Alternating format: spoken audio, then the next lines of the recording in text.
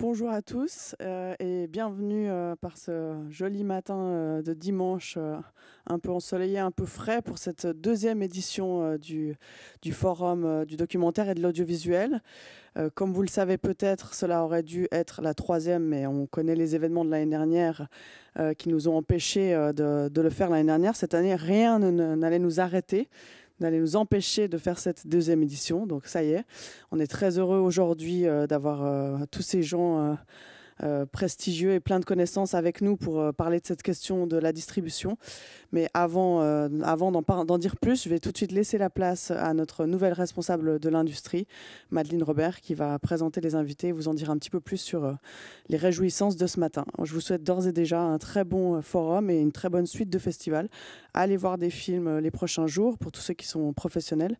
Et puis allez voir les films dans la deuxième partie de la semaine aussi, puisque nous allons pendant quatre jours faire des projections publiques également voilà, je vous souhaite une belle journée, une bonne fin de dimanche. Bonjour, euh, merci euh, Émilie et bienvenue à, cette édition 2021 de VDR Industrie. Euh, alors aujourd'hui, donc le forum du documentaire et de l'audiovisuel sera composé de trois panels que je vais laisser notre modératrice Barbara Miller présenter et introduire. Je tiens à remercier Barbara d'avoir accepté cette modération. Alors le Forum du documentaire et de l'audiovisuel est une collaboration, une collaboration entre Vision du réel et Focal. Euh, je vais laisser aussi Edgar Hagen de Focal prendre la parole et euh, parler un petit peu de cette collaboration. Euh, alors moi, je vais aussi vous donner quelques informations techniques pour les gens qui sont en ligne. Donc cette discussion est en en plusieurs langues, puisqu'elle représente, c'est la discussion de la branche suisse, donc on passera euh, très aisément euh, de l'allemand au français, euh, et donc il y a une traduction simultanée en anglais pour tous ceux qui nous suivent sur le site de Vision du réel. Vous pouvez activer la traduction simultanée en anglais. sans plus attendre, ben, je donne la parole à Edgar Hagen de Focal äh, pour nous parler de notre collaboration. Vielleicht, vielleicht können wir das noch auf Deutsch oder auf Englisch sagen. Äh, es gibt äh, Live-Übersetzung auf Englisch. Äh, auf äh, unserer Webseite können Sie direkt das anschalten und dann kriegen Sie, wie gesagt, Live-Übersetzung auf Englisch. Das heißt, es ist für alle irgendwie bedeckt. Ja, vielen Dank, äh, Emily und äh, Madeleine Robert. Es ist eine Zusammenarbeit, die wir seit, sehr, seit vielen Jahren pflegen. Wir das dritte Mal unter der Leitung von Emily Bücher, äh, Focal und Vision Durel zusammen. Es geht eigentlich in diesen Veranstaltungen immer um die Zukunft des dokumentarischen Kinos. Äh, wie, wie muss der Dokumentarfilm, was, was, was braucht der Dokumentarfilm für Bedingungen, dass er gedeihen kann? Das ist eigentlich das, das, das die durchgehende Thematik die wir in diesen Veranstaltungen über viele Jahre jetzt äh, verfolgen, in Zusammenarbeit mit Gudula Meinzold, die auch jetzt dieses Jahr äh, stark für dieses Panel mitgewirkt hat. Und ja, ich freue mich, dass das stattfinden kann. Wir wollten das vor einem Jahr schon in dieser Form durchführen, haben das dann weiterentwickelt, haben vor einem Jahr darauf verzichtet und ich freue mich sehr, dass es heute stattfindet. Ben, merci. Euh, oui, donc je tiens aussi à remercier Goudoula qui a euh, organisé euh, tout le tout, tout, le panel, Goudoula Meinzolt, collaboratrice de VDR Industrie.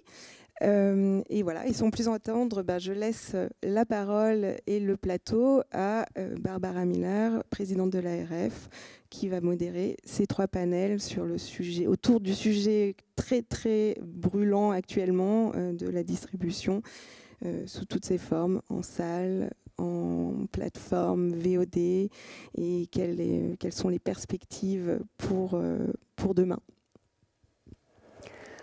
Vielen Dank. Ich freue mich auch sehr, alle Zuschauerinnen und Zuschauer online begrüßen zu dürfen zu diesem Panel.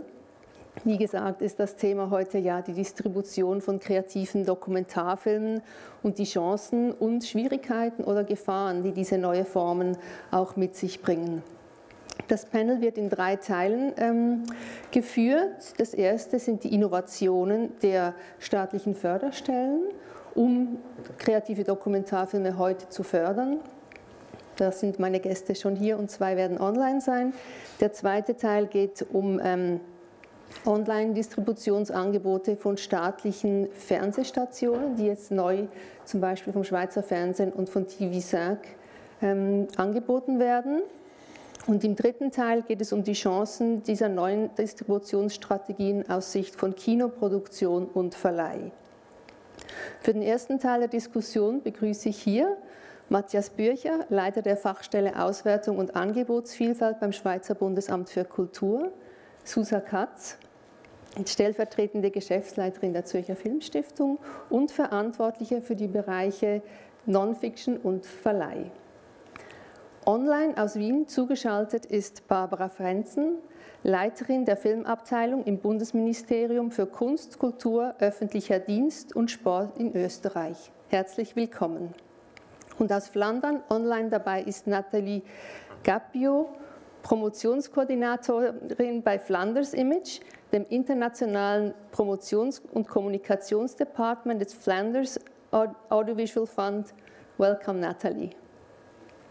Ich möchte gerne mit Matthias Bürcher anfangen und der Frage, welche neue Art von Verleihförderung habt ihr beim Bundesamt für Kultur eingeführt und was war eure Motivation dazu? Euh, merci Barbara. Je voudrais peut-être dire deux, trois choses avant. Je voudrais d'abord remercier aussi euh, Vision des Réels d'organiser cet événement. Je crois que c'est depuis une année la première fois que je suis avec autant de monde de nouveau ensemble. Je vais aussi dire que je suis novice. Je viens de reprendre en fait ce service. Euh, et puis, donc, je suis plutôt en train d'apprendre en fait sur la distribution que donner des leçons.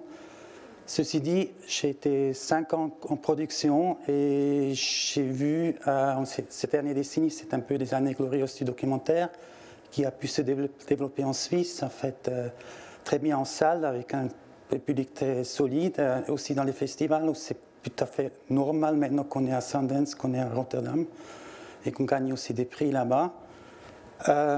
Euh, et, aussi une situation de financement que le documentaire a dû profiter. Il est passé quand même de 13 millions par année en production à 20 millions à cause d'une part Succès Cinéma où il est très bien représenté et puis euh, l'aide liée au site euh, Pix aussi qui a, bien marché pour le documentaire. Ceci dit, le nombre de films a aussi beaucoup augmenté. On est passé de, de 35 à 55 films, c'est-à-dire on aurait maintenant un film par semaine à lancer dans les salles de cinéma et on voit que cette situation n'est pas soutenable pour les situations salles. Déjà parce qu'on voit que dans les salles, en fait, on a comme une diminution de 5 à 10% chaque année de, spectateurs. Les salles qui montent les documentaires sont plutôt des salles fragiles. Et puis, en fait, tout l'écosystème, même avant 2020, était déjà un peu difficile.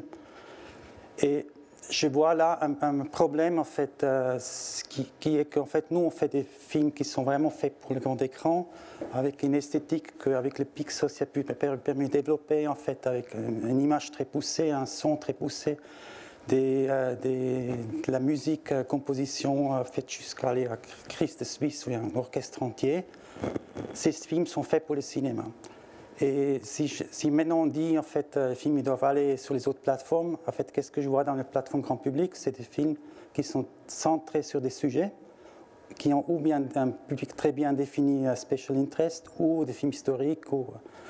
Et c'est pas tellement ces films-là. Et je pense qu'il faut, trouver un moyen en fait, de, rendre ces films attractifs aussi pour les plateformes grand public, parce que je pense qu'il ne faut pas se tenir seulement aux plateformes spécialisées parce qu'ils sont très très marginaux. Mais là, je pense qu'il faut encore trouver le chemin. Nous, euh, ce qu'on a fait, euh, on a fait une petite réforme en fait, mais on a plutôt un peu rangé les choses. Parce qu'on voit jusque maintenant, quand je vois dans la production, en fait, on a un, rapport avec les producteurs, on, on, connaît tous les financements, en fait, on sait que les films produits sont financé euh, essentiellement par le public. En fait, à la distribution, on a plutôt un rapport avec des semi-privés, c'est-à-dire qu'en fait, on soutient des choses, mais après, en fait, on a travaillé, en fait, pour payer 30 000 francs, on a vérifié chaque quittance, en fait, euh, des dépenses qu'ils nous ont dû nous envoyer avec une bureaucratie assez énorme. En fait, on a plutôt rangé là, on a fait ce système-là. Si vous faites 2000 entrées, partie là, vous êtes un système automatique et vous recevoir le même montant sans devoir justifier les dépenses. Ceci dit, on voyait que le système automatique ne marche pas pour tout le monde. on a ouvert comme un deuxième guichet, un guichet sélectif pour ces films qui ne pensent pas pouvoir atteindre ça, qui restent sélectifs, mais après, il faut quand même montrer les quittances et prouver les dépenses. C'est un peu tôt par les expériences là. On a eu trois. euh, on a eu un, un- un- un premier concours. On a soutenu trois films des documentaires. Et pour le moment, c'est un peu difficile de dire en 2020 parce que les distributeurs, même des films qui portent bien, ils ne peuvent pas savoir qu'est-ce qu'ils vont faire comme entrée. Alors on a eu soutenu en- entre autres le nouveau évangile, que je suis sûr qu'il va faire plus que 2000 entrées dans une situation normale, mais le, distributeur ne voulait pas courir des risques. On l'a quand même soutenu, mais ce n'est pas un film typique là-dedans. Et après, c'est des films euh, on a soutenu sélectifs qui sont peut-être un peu plus fragiles. En fait, un autre film sur euh, à l'intérieur d'une équipe de, football, on voit qu'en fait, il y a euh, un grand public potentiel, mais en fait, c'est des gens qui ne regardent pas euh, des films normalement. Alors, tout enjeu, en fait, pour le distributeur, c'est de créer ces contacts-là et puis de les amener quand même au cinéma. En fait, on a soutenu, mais en fait, si ça va marcher ou pas, on verra. En fait, c'est un peu tôt à tout avoir. Kannst du vielleicht noch etwas eben nach dieser ersten Runde sagen zu euren Auswahlkriterien? Also waren da spezielle ähm, Promotionsformen gefragt, ähm, neue Konzepte oder auf was habt ihr euch festgelegt als Kriterium auch? Mais ce qui nous intéresse surtout, et je pense aussi, euh, c'est pour l'aide automatique, parce qu'avant on avait un certain de mesures sta- standards des sorties classiques que nous on pense que c'est plus possible en documentaire. Alors, euh, pour nous, euh, ce qui est important, c'est que le distributeur, il trouve des autres moyens, en fait, qui sont adaptés au film, mais qui soient aussi conscients du potentiel, en fait, qui ne se fa- fassent pas des idées, et en fait, ont surtout, surtout sauté des films où en fait, ils sont aussi, en fait, ils ont fait une ana- analyse réaliste par rapport au public qu'ils peuvent atteindre. Mais c'est toujours un peu après, est-ce que ça marche après ou pas? En fait, on a vu certains trucs. On avait un film euh, qu'on n'a pas soutenu, faire le plus anonyme possible, en fait, où en fait, une communauté était liée par rapport à une maladie. En fait, la communauté, la maladie n'a rien à faire, alors ça ne sert à rien à faire à soutenir un film de cette communauté-là parce que cette maladie, en fait, elle est juste circonstancielle dans cette communauté-là. Et là, on dit, en fait, ça ne fonctionne pas, même si on identifie ces publics.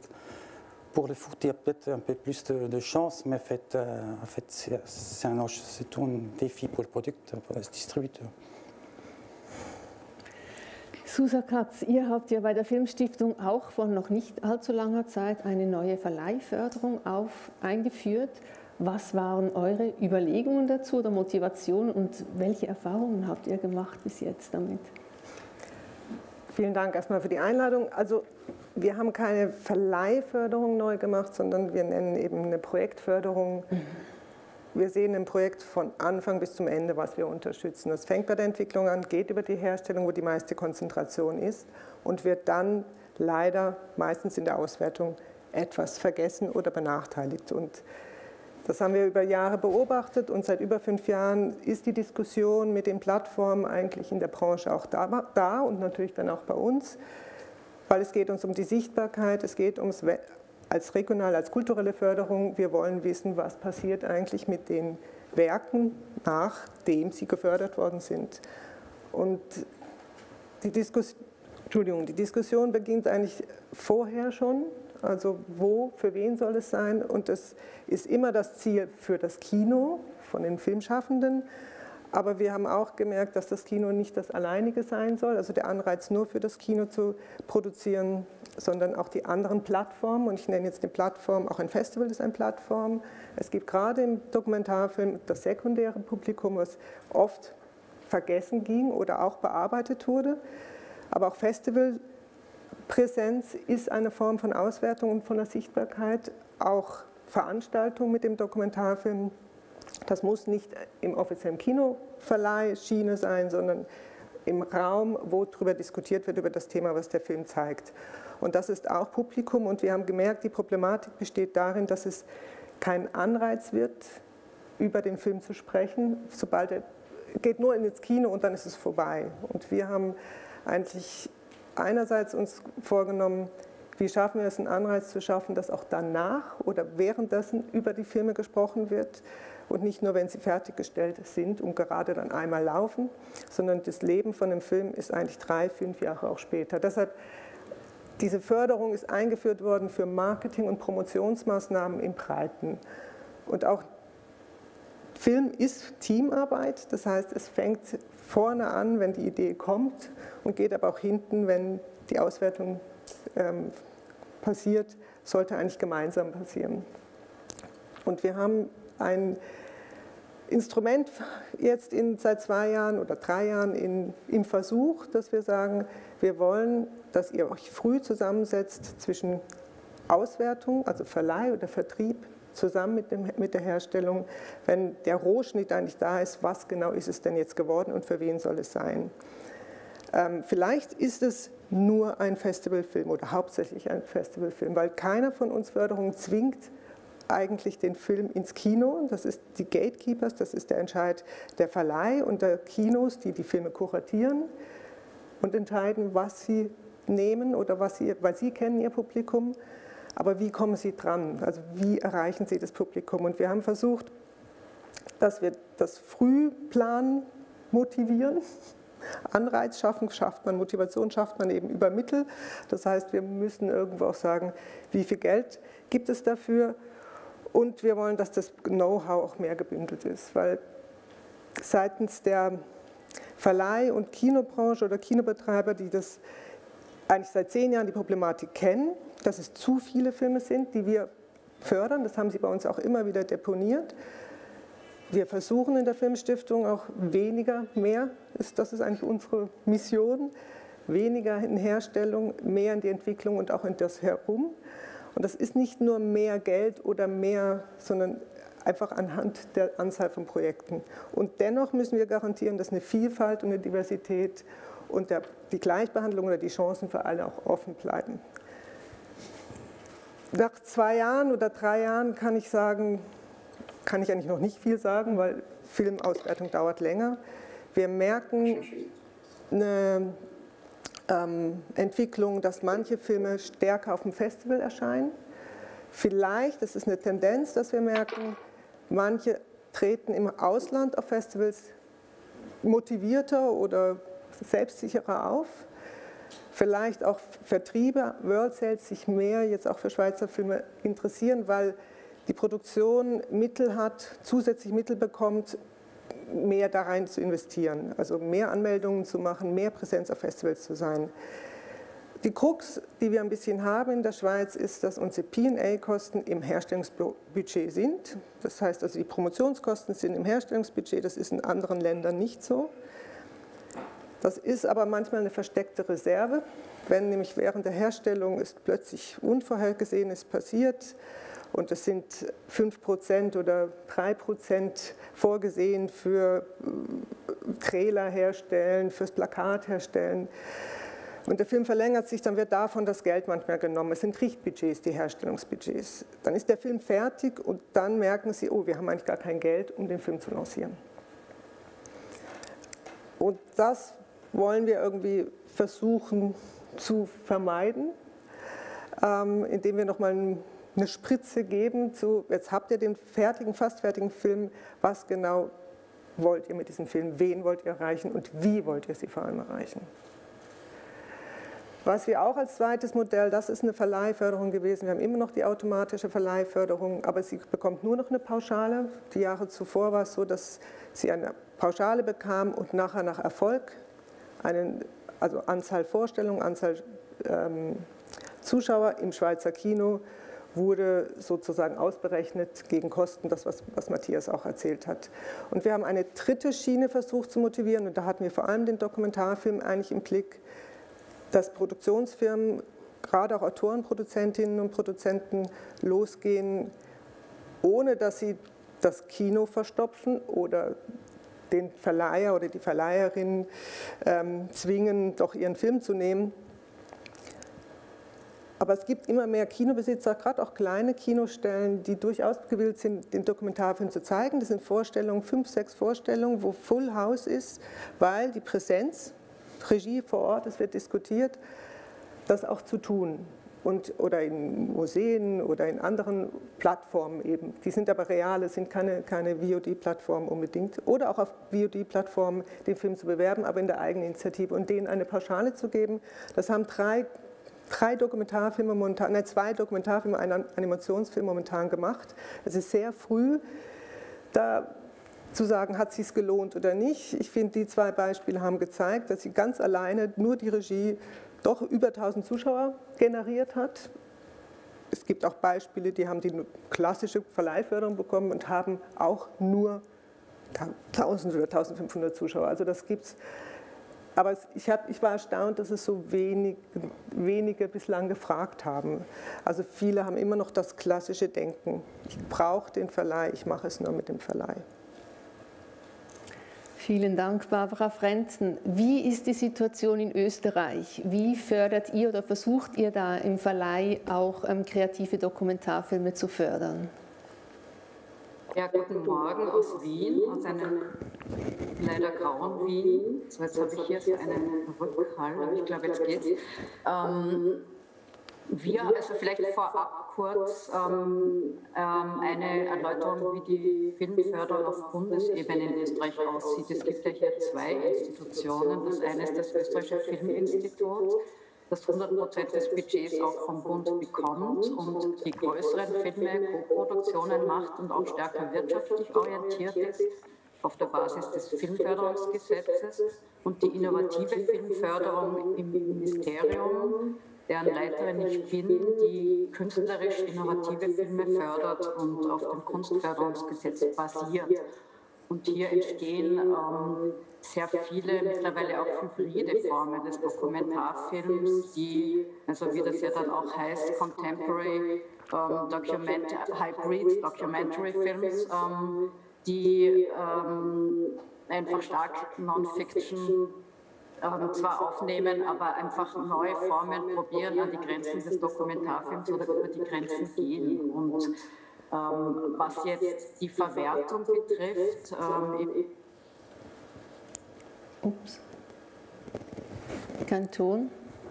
Weitere Verwertung, das wird allerdings auch schon stark diskutiert. Klar, gerade jetzt natürlich im letzten Jahr musste das ja oft verändert werden. Ähm, aber es ist klar, dass das auch mit den Verwertungsfenstern, die ja daran geknüpft sind, Änderungen geben muss, weil auch das Fernsehen natürlich dann davon abhängt, oder der Fernseheinsatz, wann diese Kinoschutzfrist beendet ist.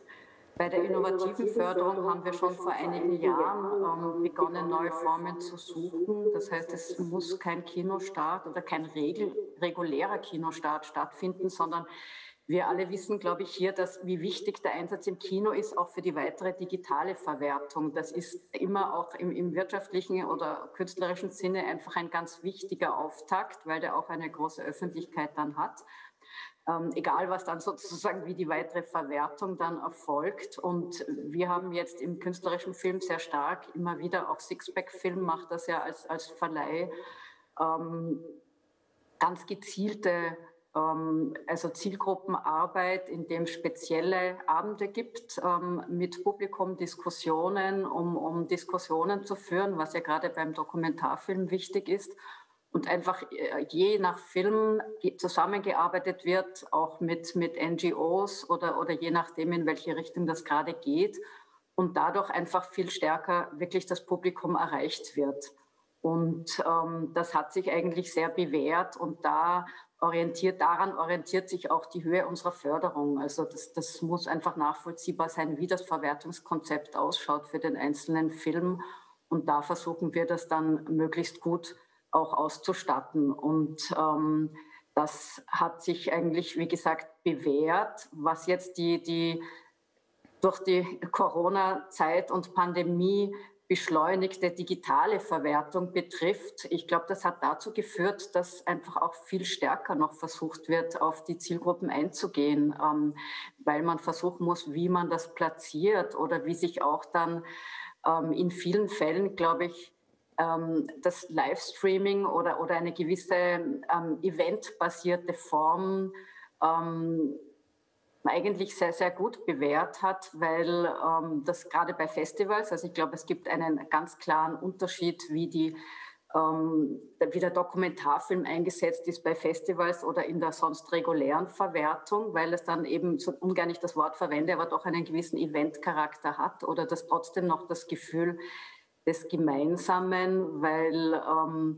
natürlich ähm, diese Verlagerung vom öffentlichen Raum im Kino auf, auf in den digitalen Raum und in die sozusagen private in den privaten Raum ja auch wirklich was bedeutet und ähm, ein, ein glaube ich, ähm, etwas ist, was man eben so, wie das ja hier passiert, über Diskussionen oder sowas etwas wieder aufheben kann oder trotzdem noch ein, ein soziales Gefüge und einen Austausch ermöglicht, was ja auch ein ganz wichtiger ähm, Aspekt eines Festivals ist, weil gerade in Corona-Zeiten ist natürlich die Frage, was macht ein Festival aus? Also, also einfach die Filme, Filme digital zu zeigen, passiert ohnehin, aber wie kann man einen, einen auch einen speziellen Festivalcharakter erhalten? Und ich glaube, das ist ja auch die Chance gewesen, in gewisser Weise Dinge auszuprobieren und ähm, einfach sich neue Gedanken zu machen. Und ich glaube, das hat sehr viele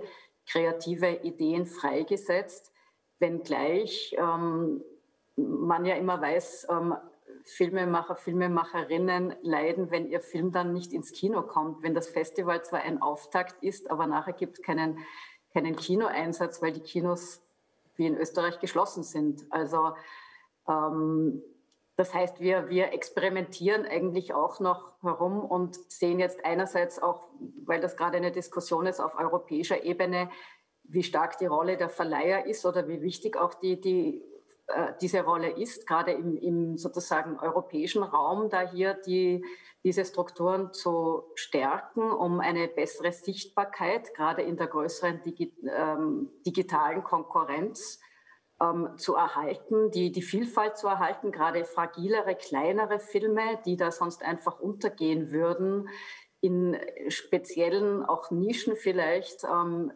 wirklich zu zeigen, wo sie ihr Publikum erreichen. Also da sind viele Dinge, die wir, glaube ich, noch, ähm, ähm, wo wir auch noch weiter lernen und, und wo wir als, als Förderinstitution einfach versuchen, diese Entwicklungen und, und auch Experimente bestmöglich zu unterstützen. Ja, man spürt da eigentlich von allen Seiten eine große Offenheit. Ähm, Nathalie Chapio, wie ist das bei euch in Flandern? Hello, everyone. Um, in fact, um, in 2020, the, the fund decided to give an extra support uh, to documentary filmmakers. Um, and actually, it's happening on two levels um, because the Association of the Documentary Filmmakers they decided to um, set up to create an initiative. It's called Film Pact, and it's based on the activities and, and the vision of uh, an organization like Doc Society, that maybe you know, um, which is really working on the impact that a social impact or political impact um, that a documentary film can have. Um, and so, what they are trying is to um, have this organization uh, helping documentary makers uh, by uh, professional experts to find other ways to um, have an, to create another outreach, but also with the, the goal of uh, making impact. Um, they are doing this. Um, they are organizing uh, workshops. They are also um, coaching and counseling uh, individual projects. Um, and so the, the fund decided actually to um, support this uh, initiative um, for three years uh, from 2020 to 2022 with a bonus of 45,000 euros. And for this, of course, we have a contract with all the, the, the activities that they have to um, uh, um, uh, organize and, and uh, complete. So at, in the end, they will also have to make a report, an evalu evaluation report. Um, and also, uh, there are a couple, they have made a selection of um, documentary films that they will um, uh, coach and um, uh, counsel from the beginning until the end. So this is also in the contract. And then there's another bonus that we created um, it's called the outreach bonus, which is for us uh, even more important because we don't want to ask every producer or every documentary filmmaker to go as far as wanting to create an impact on a social or political level. But for us and for them also, the most important thing is to create a kind of alternative uh, distribution. Um, as my previous uh, um, panel speakers, uh, they also talked about this. It's um, a part or on top of the, the traditional um, um, theater uh, releases or uh, streaming releases to find also um, other and wider audiences um, that can be more um, interested in going to see this film because of the theme, because they are um, concerned by topics that are talked about in the film. And so um, we give a bonus on, of 4,000 euro on top of the production support for long and mid-length uh, documentaries.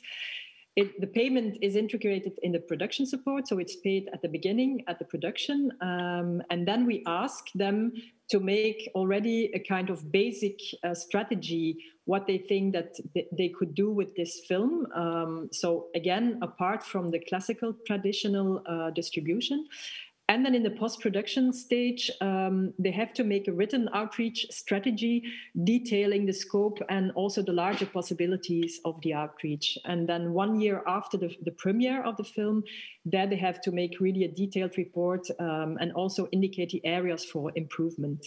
And um, this is something um, it's very interesting. So there are a lot of people, um, the experts from Film Pact for, of the organization, the producers can um, engage these people or pay these people with the 4,000 euros because this support has to be um, used for um, making this outreach strategy because this is the most important thing. They have experience with uh, networking. They know all these like NGOs or um, partner orga organizations with whom they can organize screenings, but also with Q and A's and um, really build a community with the audiences, which can be very niche, but it's really diff difficult sometimes to find who are the audiences and how will we reach them. So we are also um, stressing on the fact that in these times, um, the use of social media or digital uh, communication is very important.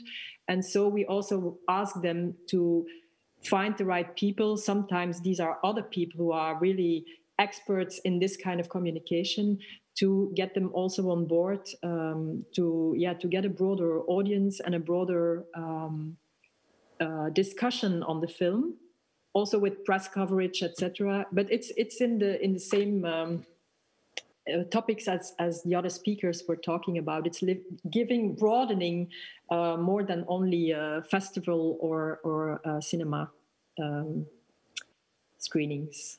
So that's in a nutshell, uh, the most important thing that we started like last year. Um, but we're working on it because um, we see that uh, mostly the uh, digital, the streaming uh, possibilities, that it's quite difficult sometimes for documentary filmmakers to find the right platforms.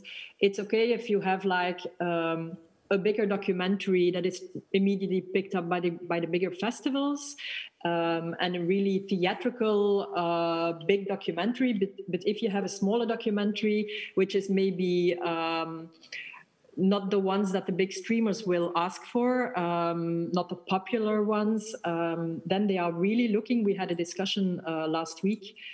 Where can they find the right outlets to, to stream or to find uh, the platforms? Also, platforms that they will have a financial return that is still interesting because sometimes it's like they're just giving away their film for peanuts and uh, okay the film will be seen but and that's a, a difficult question right now i think for the industry Ja, also vielen Dank euch. Ich sehe wirklich, es ist eine große Offenheit und es gibt auch viel Hoffnung. Ich möchte noch ähm, Gudula fragen, gibt es Fragen aus dem Publikum? Das ist in dem Sinn, glaube ich, ein gutes Zeichen, weil das heißt, also ich glaube wirklich, also für mich jetzt auch als Filmemacherin ist das Gefühl da, ähm, eben wo auch immer, es ist ein Mitdenken, es ist ein Miteinander, es ist ein Schauen nach neuen ähm, Möglichkeiten Möchtest du noch etwas sagen? Ich möchte nur was anführen, anführen, was auch Nathalie und Barbara erwähnt haben. Es ist auch ein Rollenverständnis. Ganz wichtig. Also du bist jetzt die Regie, du lebst mit deinem Projekt ähm, von Anfang bis zum Ende. Du hast am Anfang eine Idee, für wen du diesen Film machen möchtest, aber der kann während der Reise sich auch verändern. Und die Welt drumherum verändert sich ja dann auch. Und umso wichtiger ist es, dass eigentlich während dieser Reise, und das ist eben dieses, ob jetzt Impact Producer oder Outreach Producing, dass wir, also dass die Möglichkeiten da sind, sich auch zu überlegen, wie erreiche ich denn dieses Publikum? Und das möglichst auch in der Diskussion, das ist Feedback, das ist manchmal vielleicht auch nicht gleich immer angenehm, weil Feedback heißt dann auch Kritik, dass die Verleiherin oder der Verleiher auch sagt, so geht es nicht, aber dass das Know-how gebündelt und gemeinsam auch wirklich rausgelassen wird, weil dann sind die Chancen auch wirklich größer. Und wir haben das, also dieses Modell, was wir gemacht haben, ist nicht eine automatische Förderung, sondern eben mit Expertinnen und Experten, die die Anträge, also Besuche für Marketing- und Promotionsideen oder Maßnahmen anschaut und evaluiert. Und wir haben jetzt knapp 40 solche Anträge, also Hälfte, Hälfte Doc und Non-Fiction und Fiction. Und was als Feedback immer wieder kam, ist die Überraschung zum Teil, was, einem, was dem Film zugetraut wird. Mhm. Äh, ganz viele trauen diesem Film nur den nationalen Markt zu. Dabei gerade ein deutschsprachiger Film kann durchaus auch in Österreich oder in Deutschland, selbst wenn er nur aus der Schweiz finanziert ist, ich spreche jetzt mal nicht von Co-Produktionen, ein Nischen- oder Interessenpublikum finden. Jedoch die Customer Journey, wenn man jetzt im Marketing bla bla ist, die wird ganz oft nicht durchdacht oder mitgedacht. Und das hat was mit Know-how zu tun, das hat was mit der Rolle, wenn der Film fertig ist, ist die Regie erstmal, muss sie loslassen. Die Produktion ist eigentlich wo ganz woanders, nämlich bei neuen Finanzierungen, hat nicht wirklich mehr die Kapazität, sich voll zu investieren. Und das Risiko übernimmt eigentlich der Vermarkter, die Marketingprofis, und das sind klassische Verleiherinnen und Verleiher, das ist der Vertrieb. Und die bekommen, jetzt muss ich es ganz böse provozieren sagen, manchmal ein fertiges Plakat hingesetzt oder einen Trailer, der nicht, der geschmäcklerisch ist, der zwar der Regie gefällt oder dem Produzenten, der aber nicht für den Markt geeignet ist. Ich habe die Erfahrung selber oft gemacht und was ich ganz toll finde, ist, wenn der Film der wird nur beobachtet im eigenen Land. Wenn der Film mal im Ausland ist und das Ausland macht ihr eigenes Plakat für ihre Zielgruppe, für dort, in Japan oder in den USA, dann sieht das Plakat ganz anders aus, der Trailer auch. Und die Regie ist manchmal ganz erstaunt nach drei Jahren. Hast du das tolle Plakat gesehen? Ja, da hat niemand anderes mitgesprochen, außer die Vermerkter in dem Land, die mit der Arbeit zu tun haben. Und ich glaube, dieses Miteinander und zu akzeptieren, dass die Rolle, die Kompetenzen bei einem Outreach oder Input von einem Impact Producer oder von einer Verleiherin, von Marketing-Spezialistinnen und Spezialisten mit einbezogen werden, auch mit in das Experiment einbezogen werden. Das, das muss einfach mehr, also positiver aufgenommen werden. Und das versuchen wir eigentlich zu fördern oder zu begleiten, zu ermöglichen. Und Barbara hat das schön beschrieben mit diesen Nischen. Dokumentarfilm kann Nische, kann aber auch ein großer Film sein. Es geht darum, die, die klassischen Konzepte mögen für das eine oder andere Produkt, ich rede jetzt auch von einem Produkt, möglich sein oder auch ausreichen. Aber es sind auch ein bisschen veraltete ähm, Konzepte in den Köpfen und Verhaltensweisen in den Köpfen. Seit über 20 Jahren gibt es Marketingstrategien, Workshops, und so weiter. Und unsere Kommission hat manchmal gesagt, es ist schon erstaunlich, dass man immer doch noch mit viel Standards konfrontiert wird in der heutigen Zeit. Da kommt, ja, ich will auf ein A-Festival und dann kommen fünf A-Festivals, werden genannt und die A-Festivals haben auch verschiedene, haben sich auch verändert im Laufe der Zeit. Oder ich will ins Arthouse. Was heißt denn Arthouse-Publikum? Die Regie kennt manchmal nicht, die weiß nicht, wer, wer das Arthouse-Publikum ist. Das ist zu allgemein. Es wird nicht, nicht, es wird so beschränkt auf Sätze. Wir machen Medienarbeit. Ja, aber will ich eine Filmbesprechung? Will ich eine Feuilleton-Besprechung mit meinem Film? Oder will ich dem Film was anbieten, nebst dem Filmkritiker oder der Filmkritikerin, sofern es sie noch gibt in der öffentlichen rechtlichen oder in der Tageszeitung. Ähm, was ist das Ziel, damit die Medien drüber sprechen? Ähm, gibt es eine aktive Geschichte dazu?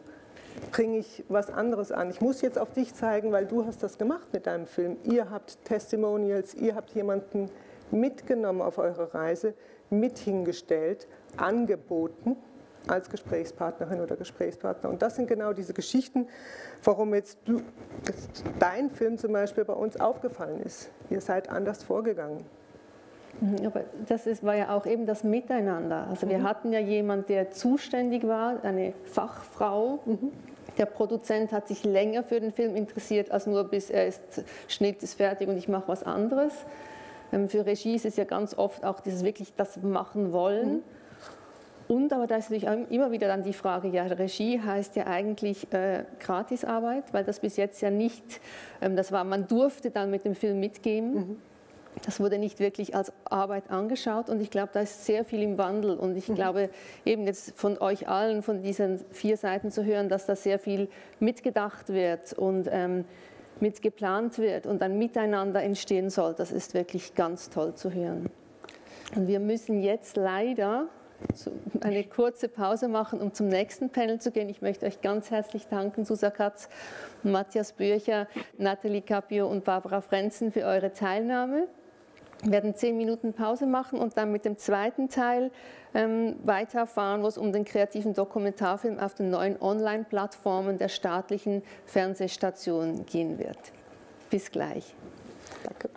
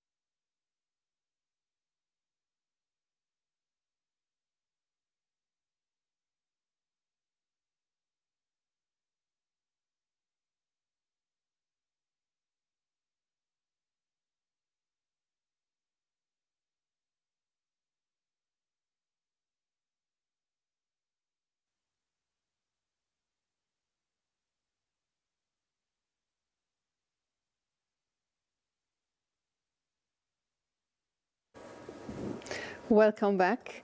Ich möchte zuerst das Publikum online daran erinnern, dass man über die Chat-Funktion unten ähm, Fragen stellen kann an unsere Studiogäste oder auch an unsere Online-Gäste. Und für den zweiten Teil der Panel-Diskussion mit dem Schwerpunkt neue Online-Distributionsangebote von öffentlich-rechtlichen Fernsehstationen möchte ich Pierre Adrien Irle, Projektleiter von PlaySwiss, der neuen Streaming-Plattform vom Schweizer Fernsehen, begrüßen.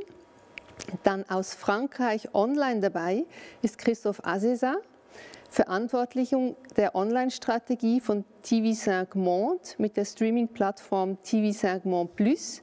Un cordial bienvenue. Dann im Studio ähm, Ellen Tati, Produzentin Box Production und Co-Produzentin Europa. Und David Berne, Regisseur und Co-Präsident der AG Doc. Ich möchte gern mit Pierre Adrian Irle anfangen und der Frage nach der Motivation und den Zielen der Lancierung der Streaming-Plattform des Schweizer Fernsehens. Bonjour, merci pour l'invitation. Je vais m'exprimer en français, si ça ne pose merci. pas de problème. Donc la, la, motivation et le but de, de Play Suisse, euh, il, est, il, est, il y en a plusieurs. Mais je pense qu'une des motivations principales, du point de vue des utilisateurs et du public, ça a été dès le début de pouvoir offrir une offre nationale, euh, de pouvoir rassembler sur une seule et même plateforme des productions en provenance de toutes les régions de Suisse et de les fournir au public avec une vision thématique et sous-titrée dans toutes les langues nationales. Et c'est quelque chose qui a été possible grâce aux technologies actuelles et ça nous a permis de décloisonner les régions suisses, de pouvoir ouvrir le paysage audiovisuel du service public euh, pour pouvoir proposer ce, ce, catalogue national pour la première fois sur une seule et même plateforme. Jetzt gibt es ja Play Swiss, ich glaube, seit vier, fünf Monaten. Mhm. Es wäre interessant zu erfahren, was für Erfahrungen habt ihr damit bereits gemacht? Und natürlich in diesem Kontext, welche Erfahrungen habt ihr vor allem auch mit kreativen, langen Dokumentarfilmen auf eurer Plattform gemacht? L'expérience, elle est globalement très positive. Après, euh, après plusieurs mois d'exploitation, on se rend compte que le public est au rendez-vous de la plateforme, donc il y a une vraie demande, il y avait ou il y a une vraie demande pour, euh, pour euh, le catalogue qu'on a composé. Et notre expérience avec le documentaire, elle est aussi très positive parce que naturellement, notre catalogue est, est, composé en grande majorité de documentaires. La Suisse produit beaucoup plus de documentaires que de fiction. C'est aussi et surtout le cas du service public. Et nous avons pu, grâce à la plateforme, mettre en valeur non seulement des documentaires récents de la production actuelle, mais ce qui était le plus intéressant et ce qui, nous, offre des nouvelles possibilités, c'est de revisiter le catalogue du passé. C'est-à-dire que nous pouvons revaloriser des productions qui ont été produites il y a plusieurs années, simplement parce que nous voulons mettre en valeur une thématique et offrir un angle euh, de vue sur cette thématique à travers les, diverses productions euh, qui ont été produites au fil des années, quelle que soit la région de production.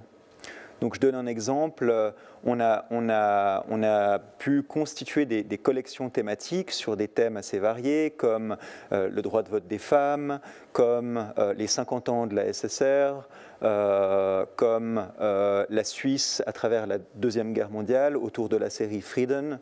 Et on a pu retrouver des documentaires qui ont été produits au fil des années et, donner cet éclairage, on va dire, interrégional et surtout culturel à travers les productions euh, documentaires qu'on avait dans notre catalogue.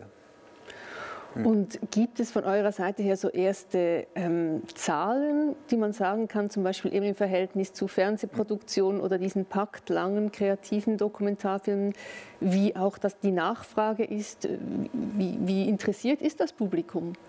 Alors, ce qui est intéressant de constater tout de même, euh, et je pense que c'est une surprise pour personne, c'est qu'aujourd'hui, les, fictions, toujours sur, sur, sur, sur, notre plateforme, mais sur toutes les plateformes, je pense, restent euh, les locomotives, on va dire, en termes de volume, hein, et en particulier les séries de fiction. On, remarque quand même un effet euh, extrêmement impressionnant quand on sort une, une, série comme Frieden, Cellule de crise, Wilder, qui a un énorme succès, que là vraiment, ça rassemble un public et un public dans toutes les régions. Néanmoins, le, documentaire euh, a aussi euh, un, certain succès. On a eu des, très beaux succès, notamment avec euh, La grande histoire du ski, qui a été un, succès populaire sur notre plateforme parce que c'est un, thème aussi très populaire et qu'on a sorti au mois de février. Et, et d'autres documentaires, évidemment.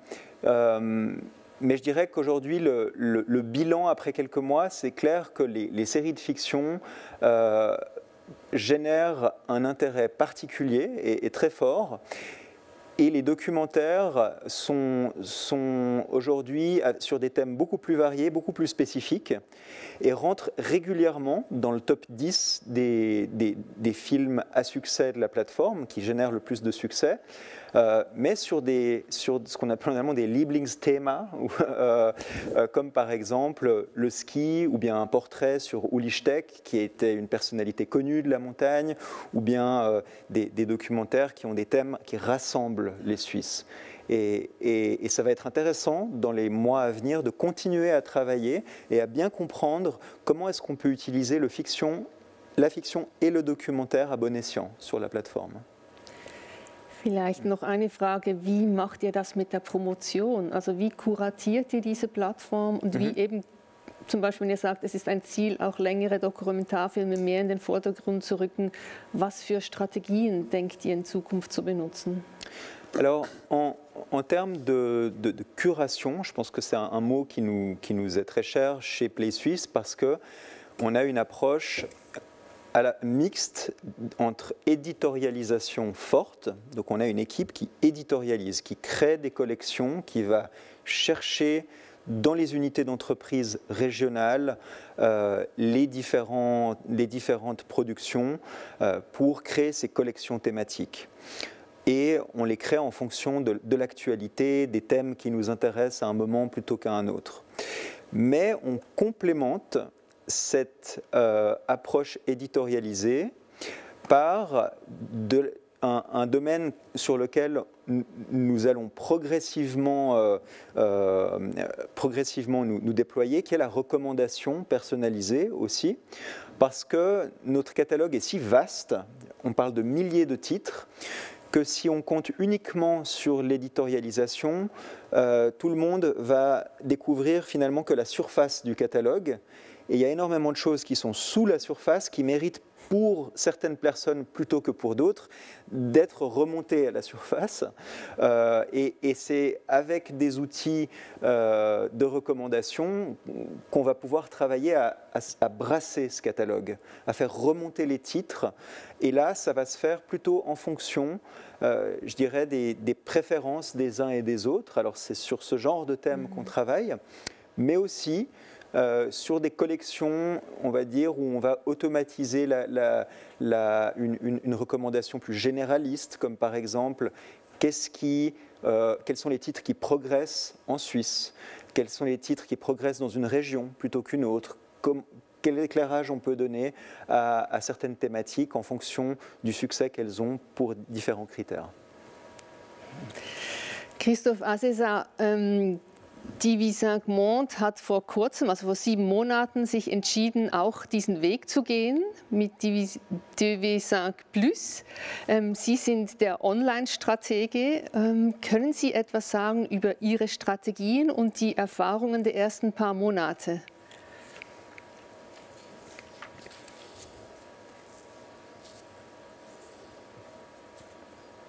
Euh, oui, bien sûr. Euh, alors, je, vais, répéter certaines choses qu'a dit euh, l'interlocuteur précédent parce que les règles et les codes d'une plateforme sont quand même relativement identiques d'une plateforme à l'autre. pour ce qui concerne la plateforme de, TV5, elle répond au, mandat de la chaîne qui est de, promouvoir la langue française dans le monde entier et, qui, qui du partenariat de, des chaînes de services publics francophones, euh, suisses, belges, canadiennes. Cette, plateforme a été lancée euh, en septembre dernier. Euh, on y trouve à peu près 4000 heures de programme aujourd'hui. C'est une plateforme généraliste, c'est-à-dire qu'on y trouve de la fiction, du sport, de la jeunesse, du documentaire. Et le documentaire représente à peu près euh, un quart de ces 4000 heures, c'est-à-dire à peu près 1000 heures, ce qui est, beaucoup évidemment. Alors, juste pour ne pas répéter, euh, parce qu'on travaille sur, les mêmes choses, pour notre spécificité à nous, euh, c'est le regard croisé, c'est-à-dire que sur une thématique précise, par exemple, je prends une thématique assez, euh, bateau, mais la journée des droits de la femme, par exemple, on va nous proposer des documentaires issus de chaque partenaire pour construire quelque chose de différent, pour apporter quelque chose de différent. Et en termes d'ouverture euh, vers le public, nous, nous avons une spécificité, c'est que nous travaillons par exemple avec le million de professeurs de langue de français dans le monde. Un million. Et cette plateforme, elle leur est parfaitement utile pour, euh, pour des cours, pour des soutiens, pour conquérir le nouveau public francophone de demain. Voilà. Au-delà de ça, effectivement, il y a l'éditorialisation, la thématisation, on retrouve les recommandations comme, pour la, comme pour RTS Play, évidemment, nous, on constate que c'est la fiction qui fonctionne le plus.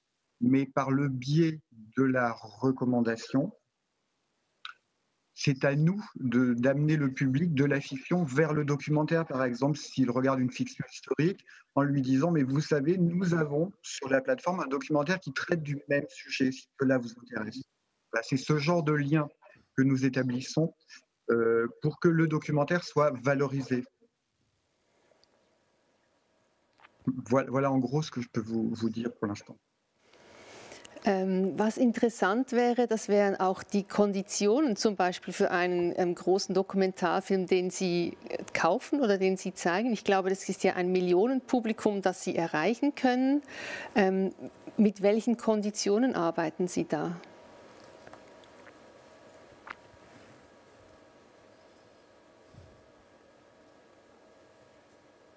Euh, alors d'abord, il faut qu'il soit en langue française. C'est la condition sine qua non. Parce que nous diffusons en langue française et nous sous-titrons en langue étrangère. Ensuite, nous sommes généralistes, c'est-à-dire qu'on est ouvert à tous les sujets. C'est-à-dire que si vous allez sur notre plateforme, la thématisation, ça va de euh, documentaire découverte à agriculture, euh, documentaire africain. À partir de là, on, peut accepter un nombre de choses euh, assez. Notre, pardon, notre, notre, notre terrain de jeu est, assez large. Donc, on n'a pas d'a priori. Und eben, was natürlich für uns auch als Filmemacher, zum Beispiel von dieser Seite her, ähm, sicher eine Frage ist, ähm, wie lange ist die Laufzeit für einen Dokumentarfilm, wie viel bezahlt auch eine Plattform, jetzt wie Ihre, für einen Film, die Akquisition eines Filmes.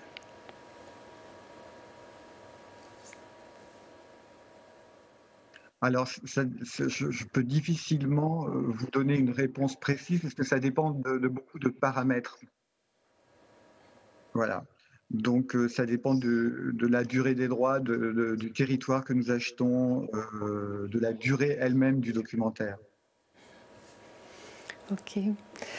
Ähm, Elena Dati, ähm, Sie als Produzentin, wie, ähm, wie erleben Sie, wie, wo sehen Sie die Chancen und die Gefahren dieser neuen Plattformen, die jetzt ja auch immer ein wichtiger Player werden für die Auswertung oder die Ausstrahlung von langen Dokumentarfilmen? Alors, bah, euh, évidemment, pour, en, en, tant que, en, tant que, producteur, on a vécu, je pense, cette première phase de lancement euh, en Suisse, de Play Suisse. Pardon Le micro ne fonctionne Avec, pas. Euh, ça marche pas? Presque pas. Ah. Hmm. Bon, je vais essayer de parler plus fort, peut-être. Merci beaucoup. Donc, en tant que producteur, nous avons vécu, moi en tant que productrice, j'ai vécu avec enthousiasme cette euh, phase initiale du lancement euh, de Play Suisse. Euh, bah, déjà pour une chose assez, assez simple. Attends, un nouvel micro arrive. Thank you.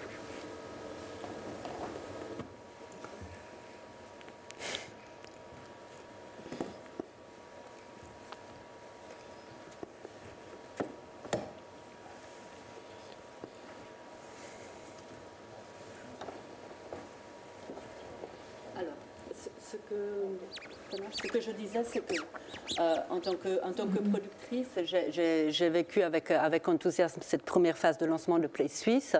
Euh, pour nous, euh, ben, en résonance, je pense à ce que disait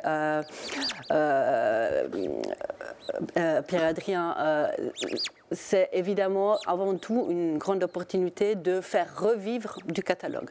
Donc là, ce qui s'est passé concrètement, c'est que la SSR a, reacquis les droits hein, d'une grande partie de nos films. Donc évidemment, c'est euh, pour des films qui, qui, voilà, qui quelque part étaient déjà dans une phase un peu tardive de leur exploitation, euh, une grande chance de, de, se voir euh, remis en avant d'une façon ou d'une autre ou, et, entrer dans, un, dans, une perspective de rééditorialisation sur la plateforme Play Suisse. donc ça, c'est une première chose. Évidemment, c'était un peu plus compliqué pour certains autres films, qui sont des films dont la carrière de commerciale n'était pas encore complètement terminée. Euh, bon, moi, concrètement, par exemple, j'ai eu des cas des deux films, qui sont les deux films qui ont gagné le prix, le prix du cinéma suisse, donc Ceux qui travaillent et euh, Le milieu de l'horizon ces deux dernières années, enfin, avant et avant. Euh, c'est, ben, ceux-là, c'est des films qui avaient été acquis euh, et, coproduit par Téléclub. Donc euh, voilà, c'était pas, j'ai dû euh, négocier, hein, c'est ce que, ce que j'ai fait, c'est que j'ai dû négocier un raccourcissement par exemple de, de, la fenêtre de, de, la VOD payante chez Téléclub. c'était, ben, je l'ai fait, pourquoi je l'ai fait? Parce que c'était quelque part dans mon avantage. C'est des films qui sont des films d'auteur qui sur des plateformes comme, euh, comme celle de, de, de, Téléclub, enfin de Swisscom, ne font pas hein, très clairement des, des, scores incroyables. Euh, évidemment, ça, je parle, c'est un cas assez précis. Donc moi, j'avais quelque part tout intérêt aussi euh, de, de, un peu négocier avec Téléclub pour aller plus vite sur la plateforme, la, la, Free VOD de, de, Play Suisse. ce n'est pas toujours le cas. Hein, euh, bien sûr, pour certains euh, films, notamment de fiction, qui ont un potentiel commercial plus euh, grand, c'est sûr que la plateforme de Friodi ne peut que venir un peu plus tardivement. Je dis cela aussi parce que c'était maintenant les, questions, je dirais, de, chronologie des médias par rapport à, la, à en Suisse sont pour l'instant fixées dans le pacte de l'audiovisuel, donc jusqu'à 2023, sont fixées aussi dans, l'optique et dans le cadre qui est maintenant celui du pacte encore, qui, pour, laquelle toutes les coproductions ont une première diffusion en linéaire. Donc voilà, ça c'est important. Euh, et dans le pacte, ce qui est important aussi par rapport à ce que je disais, c'est que pour les films de fiction pour le cinéma et pour les documentaires aussi, il y a euh, une, euh, une, clause de opting out des producteurs pour effectivement permettre cette exploitation commerciale avant d'aller sur la plateforme de FreeVOD.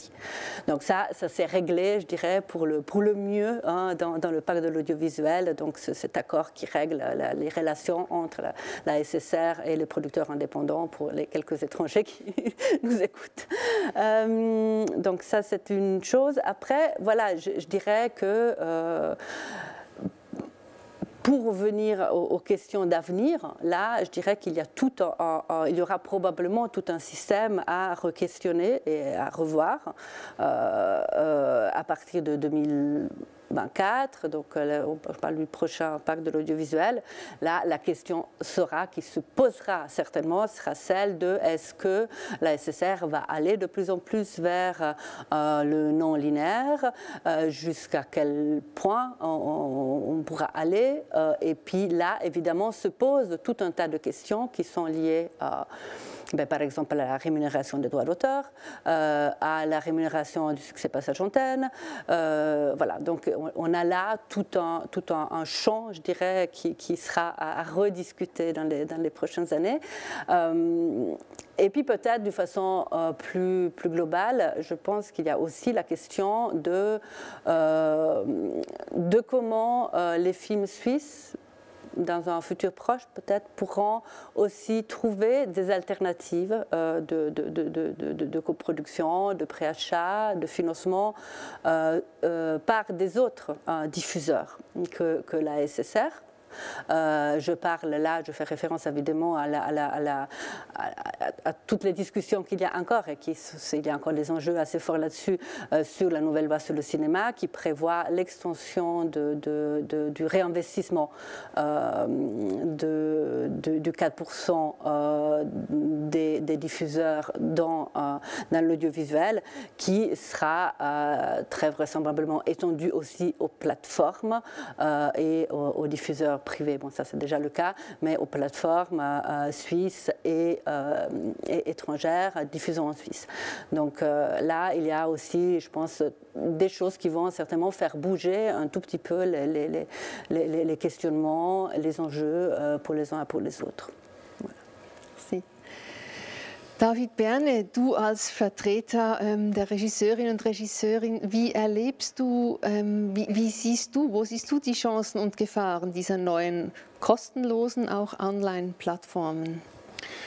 Ja, also ich bin nicht nur Vertreter von Regisseurinnen und Regisseuren, sondern auch von Produzenten. Die AG Doc ist quasi mhm. die Vereinigung, die die gesamte Branche repräsentiert in Deutschland. Ich bin zwar Schweiz, aber ich bin da, da seit vielen Jahren in Deutschland und äh, spreche jetzt von meinen Erfahrungen auch eher vom deutschen Raum gewissermaßen.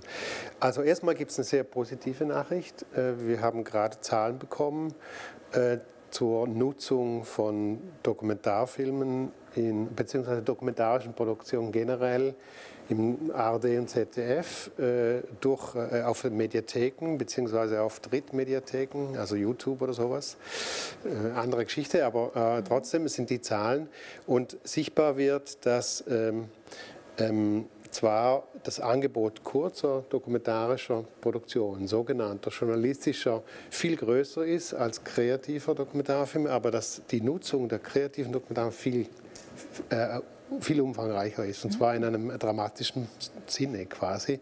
Also die kreativen Dokumentarfilme sind gewollt gerade auf Mediatheken, während sie ja oft, äh, zumindest im deutschen Raum, nicht gerade im Schaufenster stehen, was die normalen Sendeschemas angeht. Deswegen ist das erstmal eine sehr, sehr gute Nachricht. Äh, der kreative Dokumentarfilm ist gewünscht, hat eine Hochphase äh, und die die, die Online, die, dass, dass sie online zur Verfügung gestellt werden, bedeutet, dass mehr äh, Publikum die Chance hat, wirklich zuzugreifen auf diese Filme. Das ist eine große, gute. Nachricht, mhm. würde ich sagen. Das andere ist äh, tatsächlich das, was äh, schon angesprochen wurde, ähm, das Thema, ja, was bedeutet das jetzt für die, für die Rechte? Also äh, sind wir noch in der gleichen Situation wie vorher. Wir haben gerade in Deutschland jetzt vor kurzem mit Beginn dieses Jahres äh, nach zweijährigen Verhandlungen äh, eine neue Struktur für Folgevergütung erstritten mit den Sendern, die sich bezieht auf die bisherige Art der Auswertung, die Sendeschemen.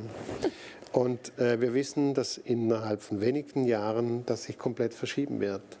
Ähm, äh, in, bereits in unseren Vereinbarungen steht drin, dass wir bis Ende dieses Jahres 2021 eine Lösung finden müssten für die Mediathekenvergütung. Also wie funktionieren Leistungsschutzrechte, wie funktionieren Urheberrechtsvergütungen äh, auf den Mediatheken bis Ende dieses Jahres. Es geht äh, ganz schnell. Es sind nicht Jahre, es, sind, es ist ein halbes Jahr quasi, dass wir Zeit haben dafür.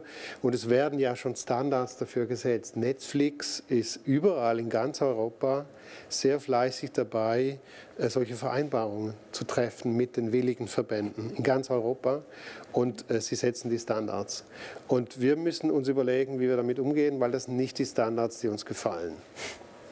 Und das ist, äh, äh, also das, äh, das wird jetzt, glaube ich, wir, wir müssen uns wirklich sehr schnell darüber verständigen, was, wie können wir dieses alte System übersetzen in, die, in das System der Online-Auswertung. Ja, ich glaube, das wird eine große Frage sein. Wie viel Wert geben wir dem Online auch? Also, weil ja, es wird sich verändern. Ähm, wie seht ihr das ähm, von den ähm, Online-Plattformen der staatlichen Fernsehstationen? Es ist ja auch eine Frage der, vielleicht eine ketzerische Frage, ähm, der Förderung einer Gratiskultur auch. Also wir haben ja wie versucht zu sagen, online hat mehr Wert und soll mehr Wert haben, also das Schweizer Fernsehen. Und ich nehme auch an, TV Saint-Maud möchte ja mehr ins Online-Bereich, um auch wieder Junge anzusprechen. Es ist jetzt aber eben diese Gratiskultur, die man ja auch damit fördert. Wie geht ihr damit um und wie kann man dem auch irgendwie etwas entgegensetzen? Vielleicht zuerst. Alors, moi j'ai le point de vue de la SSR et de Play Suisse, euh, et je ne considère pas que Play Suisse est une plateforme gratuite, puisqu'elle est, elle, elle est financée dans le cadre du budget ordinaire de la SSR, qui est largement financé par la redevance. Donc finalement, payée, elle est déjà payée mais elle n'est pas gratuite. Euh, ce serait presque étrange de demander de l'argent supplémentaire pour accéder à des programmes qui sont en grande majorité financés par le service public et déjà financés par la redevance. Donc de ce point de vue-là, je ne considère pas que c'est une plateforme gratuite au sens propre du terme gratuit. Euh, maintenant, son accès est libre. Et, c'est un petit peu, euh, un petit peu euh, le problème que peuvent rencontrer des, des, producteurs avec des films qui sont dans une phase plus commerciale. Et on, réfléchit à des solutions. Euh, on va pouvoir faire évoluer notre plateforme de manière à pouvoir euh, accueillir ces films selon des critères qu'on va définir ensemble avec les, les, associations. Je rappelle aussi que Play Suisse n'est pas une initiative de plateforme euh, qui qui fonctionne et qui progresse sans consulter. Euh, finalement, c'est, le but de Play Suisse, c'est aussi d'avancer avec et pour les producteurs indépendants, puisque c'est eux qui constituent notre catalogue. Et donc, sans la production indépendante, Play Suisse n'a pas raison d'être. Donc, l'idée, c'est vraiment de collaborer dans le futur. Euh, simplement, je rappelle que la plateforme a cinq mois. C'est donc un tout petit enfant et qu'elle a encore une, une, une, marge de progression importante, et, et notamment dans ce domaine-là, euh, le domaine des droits, le domaine de la mise en valeur des films au début de leur carrière, le domaine de l'accessibilité libre ou moins libre selon quels critères. Voilà, donc tout ça, c'est des thèmes qui vont nous occuper ces prochains mois et ces prochaines années.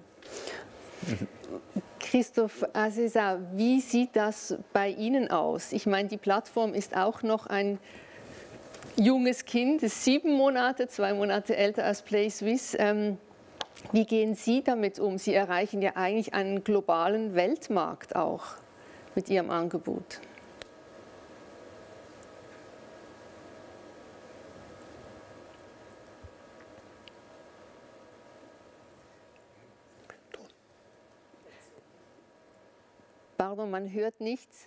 Nichts. Nous sommes gratuits, évidemment, parce qu'on ne peut pas non plus envisager qu'un service public ne soit pas gratuit pour les mêmes raisons. C'est-à-dire que le, les programmes sont déjà financés. Nous avons évidemment, nous, des accords avec les organismes et les institutions qui représentent les auteurs, les artistes, les réalisateurs. Euh, au-delà de ça, euh, encore une fois, nous sommes, nous, euh, dans la même problématique, c'est-à-dire que euh, il nous faut couvrir le monde avec, avec une variété de programmes qui permettent d'atteindre l'utilisateur. Voilà, en gros. Merci. Ich möchte das Publikum fragen. Gibt es Fragen? Gundula aus dem Publikum? Ich habe eine. Hört man mich? Ja. Ich habe eine Frage äh, aus dem äh, von einem Zuschauer aus dem Internet. Äh, wie ist die Verknüpfung zwischen linearem TV und der PlaySwiss aktuell oder geplant? Dies scheinen zwei komplett getrennte Welten, auch unterschiedliche Publika zu sein. Sollte dies nicht mehr verknüpft werden? Ja, Frage an dich. Aujourd'hui, le lien entre le linéaire et, la plateforme Play Suisse reste encore relativement proche. Maintenant, pourquoi il est proche? Euh, Parce que, euh, d'une part, sur les nouvelles productions, euh, nous les sortons lorsqu'elles sont disponibles. Et souvent, quand on parle de documentaires, je prends un exemple documentaire, un temps présent ou un Passe-moi les jumelles, qui sont des, franchises de la, RTS, euh, sont, des documentaires qui sont finalement terminés relativement peu de temps avant leur date de diffusion. Et ensuite, nous, on a un travail de sous-titrage qui prend encore du temps. Donc finalement, on se retrouve assez proche de cette, date de diffusion. Maintenant, l'autre aspect qui est plus une limitation juridique, ou un, contexte légal, c'est le parrainage. Un certain nombre de nos programmes euh, bénéficient pour l'antenne du parrainage, du sponsoring. Et les règles de l'OFCOM sont très claires avec le sponsoring. On ne peut pas diffuser en ligne un contenu parrainé plus de 24 heures avant sa diffusion à la télévision linéaire. Donc pour tous les contenus parrainés, qui sont quand même, qui constituent une, une proportion non négligeable de notre catalogue, euh, nous sommes tenus de respecter cette différence entre la diffusion linéaire et la diffusion en ligne. Maintenant, évidemment, est-ce que cela reflète les, tendances ou la réalité actuelle? Euh, Peut-être pas. en tout cas, on va vers une délinéarisation de la, de la programmation. Mais ça, ce sera une discussion que la SSR devra avoir dans le futur avec l'OFCOM pour faire évoluer les règles avec son temps. Mais aujourd'hui, on doit composer avec ces règles, et donc c'est pour cette raison que nous n'avons pas euh, totale, totale liberté. Néanmoins, sur tout le catalogue du passé, ce qui représente une grande partie de ce qu'on propose, là, on rethématise de manière totalement libre, et on voit du trafic ou de la consommation sur des contenus euh, qui sont pas du tout liés à l'antenne, pas du tout liés au linéaire et, euh, et, uniquement propres à Play Suisse. Voilà. Elena, du wolltest vorher noch Oui, oui moi j'ai une question qui porte, je dirais, plutôt sur la, la euh, je pense que moi, ce que, ce que j'ai vu et ce que je comprends, c'est qu'il y a une force, effectivement, d'éditorialisation de nouveaux contenus et de mise en avant. Euh, et donc, vraiment une force de, de, de, de programmation, quelque part, de, la plateforme qui est là. Euh, je me suis demandé quelles étaient, par contre, les, les comment dire, la, force ou la faiblesse, plutôt que j'ai pu quand même un peu constater, si je peux me permettre, sur la promotion des nouveaux, euh, des nouveaux contenus.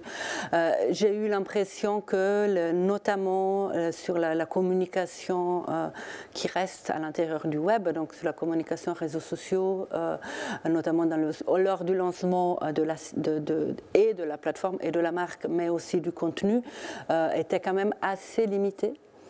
Euh, peut-être c'est qu'une association individuelle, mais je pense pas. Et euh, du coup, je me suis demandé dans quelle mesure aussi la SSR euh, pense développer plus loin ses capacités de, promotion online et quelles sont aussi les limites peut-être que vous pouvez avoir là-dessus en tant que service public? Mhm. Voilà. Alors, bah, il y, a deux aspects. Hein. Il, y a, quand on parle de, de, de, promotion, de marketing et de communication, et je différencie les deux parce que ce n'est pas, pas, pas, tout à fait la même chose. Mhm. En, marketing, on a toute la promotion qu'on peut faire de manière organique, donc non payante. Mhm. Hein. et là, on part de zéro. Parce finalement, on n'a pas de base de, de, fans euh, sur les réseaux sociaux. C'est une marque toute nouvelle. Donc finalement, on part de zéro. Donc pour pour ne pas totalement partir de zéro, on a quelques leviers. Mhm. On, a, on, a, on a disposé d'un budget marketing, on continue de disposer d'un budget marketing, mais qui est extrêmement modeste en comparaison d'autres plateformes. Hein. Mhm. On peut prendre l'exemple de Disney ⁇ qui a une présence marquée depuis plus d'une année sur le territoire suisse, avec des campagnes extrêmement fortes en out of home, en digital, etc on n'a en tout cas pas la même capacité d'investissement dans, ces canaux marketing, mais néanmoins on le fait. Alors qu'est-ce qu'on fait? On se base sur des outils de cross-promotion, donc de promouvoir les programmes avec les leviers des unités d'entreprise, donc des chaînes linéaires notamment. Mais là, ça pose parfois un problème de concurrence interne, donc on doit être très ciblé. On l'a fait notamment avec Wilder, ça a très bien marché, on fait des expériences. On fait du travail sur euh, les, réseaux sociaux pour aller chercher des publics donc en réseau social avec des campagnes payantes euh, où on va pouvoir ici aller proposer euh, la marque Play Suisse et, les contenus qu'on propose à travers les réseaux sociaux, on fait du teasing hein, sur, sur des publics. Donc là, on est vraiment dans cette phase de, de, de, de, reconnaissance de la marque, de brand awareness mhm. encore. Et puis, on va faire des campagnes ponctuelles. Maintenant, ce qu'on voit émerger, donc, c'est les différents canaux. Euh, et on a aussi, on dispose de notre newsletter, qui est un formidable outil de, on va dire, de, communication avec notre, notre base. On a, on a un, un taux très important de gens qui s'inscrivent à Play Suisse, qui souscrivent à la, newsletter. Mhm. Et cette newsletter, elle nous permet d'annoncer des nouveaux programmes, des nouvelles collections, de, proposer des, choses. Euh, et, en fait, avec la combinaison de tous ces canaux, on arrive à bien identifier qu'est-ce qui marche, qu'est-ce qui ne marche pas, puis rediriger un petit peu nos efforts marketing avec le petit mhm. budget qu'on a vers finalement les, initiatives qui sont les plus, euh, les, les plus efficaces. Maintenant, je pense aussi que ça reste un, grand défi euh, à venir. On, sait par nos enquêtes que euh, environ 30% de la population, un tiers de la population vraiment identifie Play Suisse comme, une plate, comme, pour ce qu'elle est, identifie la marque. On a encore une marge de progression importante. Et puis ça va se faire au fil des prochains mois. Euh, et, donc, on, a aussi constitué une équipe marketing. Et ça, mhm. c'est important de le dire. Au début, on avait une campagne de lancement, mais au premier trimestre de l'année, on a vraiment maintenant une équipe marketing.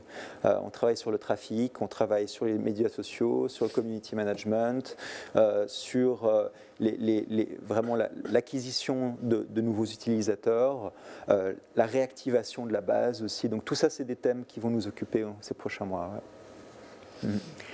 Christoph Assisa, wie machen Sie das bei TV 5 Monde?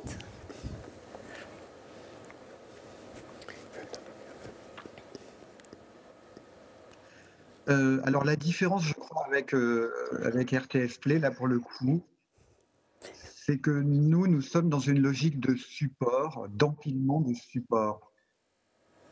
C'est-à-dire que euh, peu importe que l'utilisateur, je l'appelle l'utilisateur pour, pour, pour, le différencier, euh, peu importe que l'utilisateur donc euh, regarde TV5 Monde en linéaire ou TV5 Monde Plus, pour nous, l'objet, c'est qu'il regarde TV5 Monde. Voilà.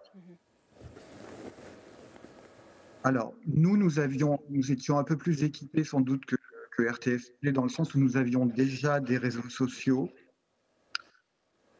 nous avions déjà une offre, par exemple, SVOD euh, sur l'Afrique, de programmes africains.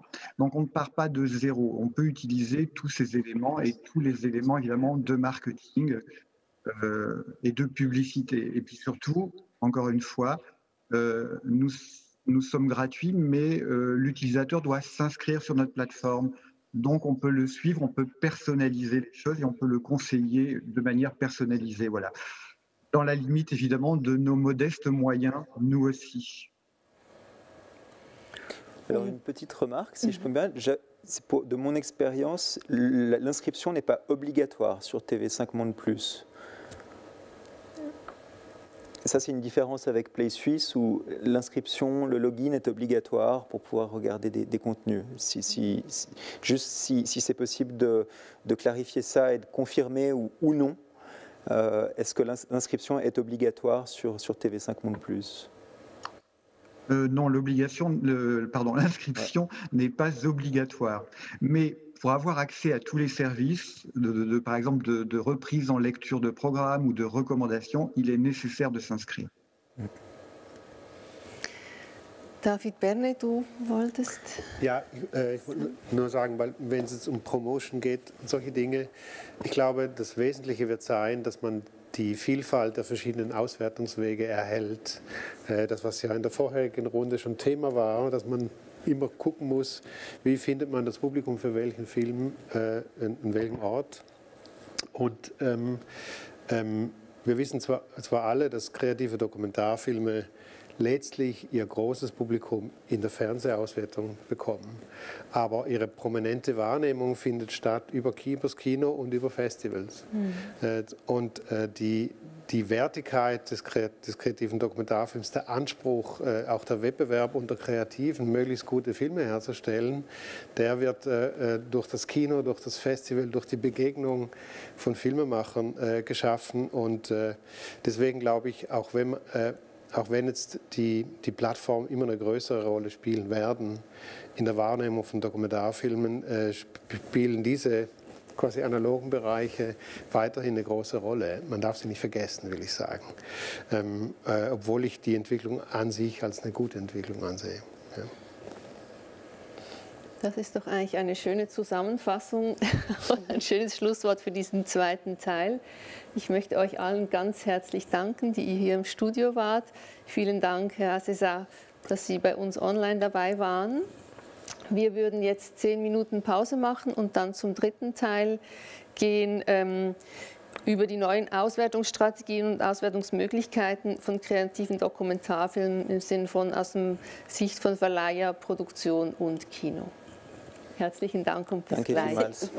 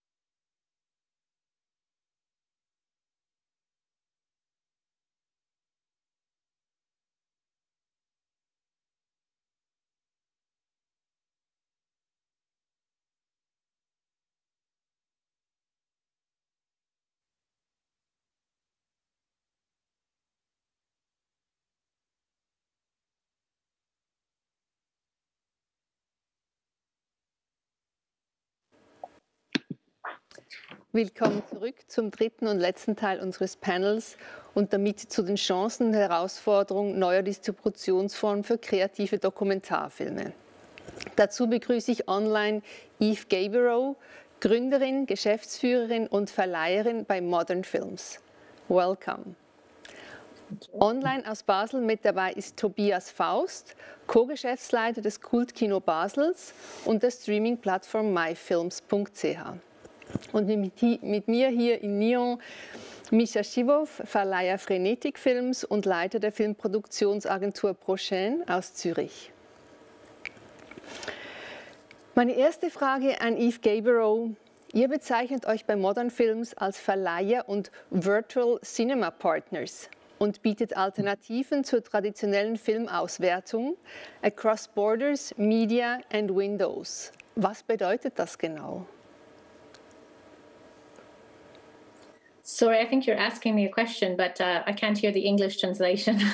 oh. I was asking um, at Modern Films, you're um, um, naming yourself as virtual cinema partners. And you're offering alternatives to the traditional film um, distribution across borders, media, and windows, as you call it. What does that mean? Yeah, so traditionally we're a distribution company who release films in cinemas and then across other rights. And since March last year, we also launched a virtual cinema platform, which is you know, with a capital V and a capital C, I think it's a new term um, on how we release films online, but in this theatrical window, so that we're positioning the film release as still part of the cinema release. So we partner with cinemas and with cultural organizations on building virtual screening rooms for them. So you buy a ticket from the cinema, but you watch it online, but it's all branded as them. So I suppose that's the difference of create. It's different from premium VOD or from digital release or VOD itself because we partner with the cinemas and the cinema brands and the traffic um, and the social media and the outreach all comes from them. So it's an important uh, partnership and distinction, I think, between the way we used to release with cinemas or the way we release digitally. And what? And on that platform, we've released um, five films this year. Um, some of them hybrid of theatrical when we were open um, a little bit, but some of them purely virtual, but all in connection with cinemas themselves. And what were your first experiences with it? How does it work? How how much yeah. do you reach the audience? Um, yeah. Well, the cinemas work differently. It's, I mean, it's been a hard time to create a model because some cinemas are operating behind the scenes, even if they're closed. Some have all the staff furloughed. Some have greater marketing outreach uh, from before. Um, so the ones that do have marketing in-house or or good mailing lists and and followings, they do much better than the ones that don't. But trying to create a model is really trying to communicate with audiences for new releases through press and then through through kind of organic growth and marketing marketing.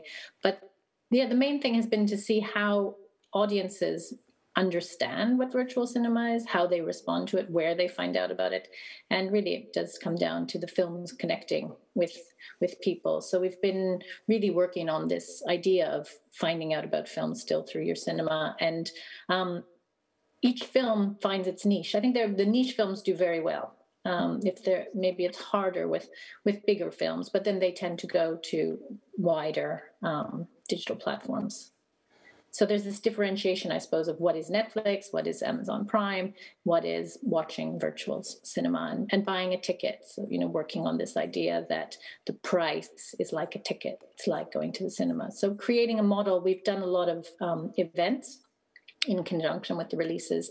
And the events we tend to do for free and not geo blocked, and then the films geo blocked and transactional priced. Um, which also has been a lot of messaging around that.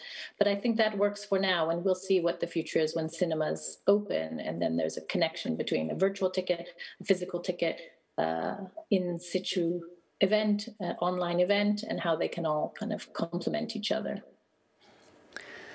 And I've read on your page that you're often talking about impact distribution and outreach strategies. Can you tell a little bit more about how precisely you're working with it and what, what's your work on it, how you use it?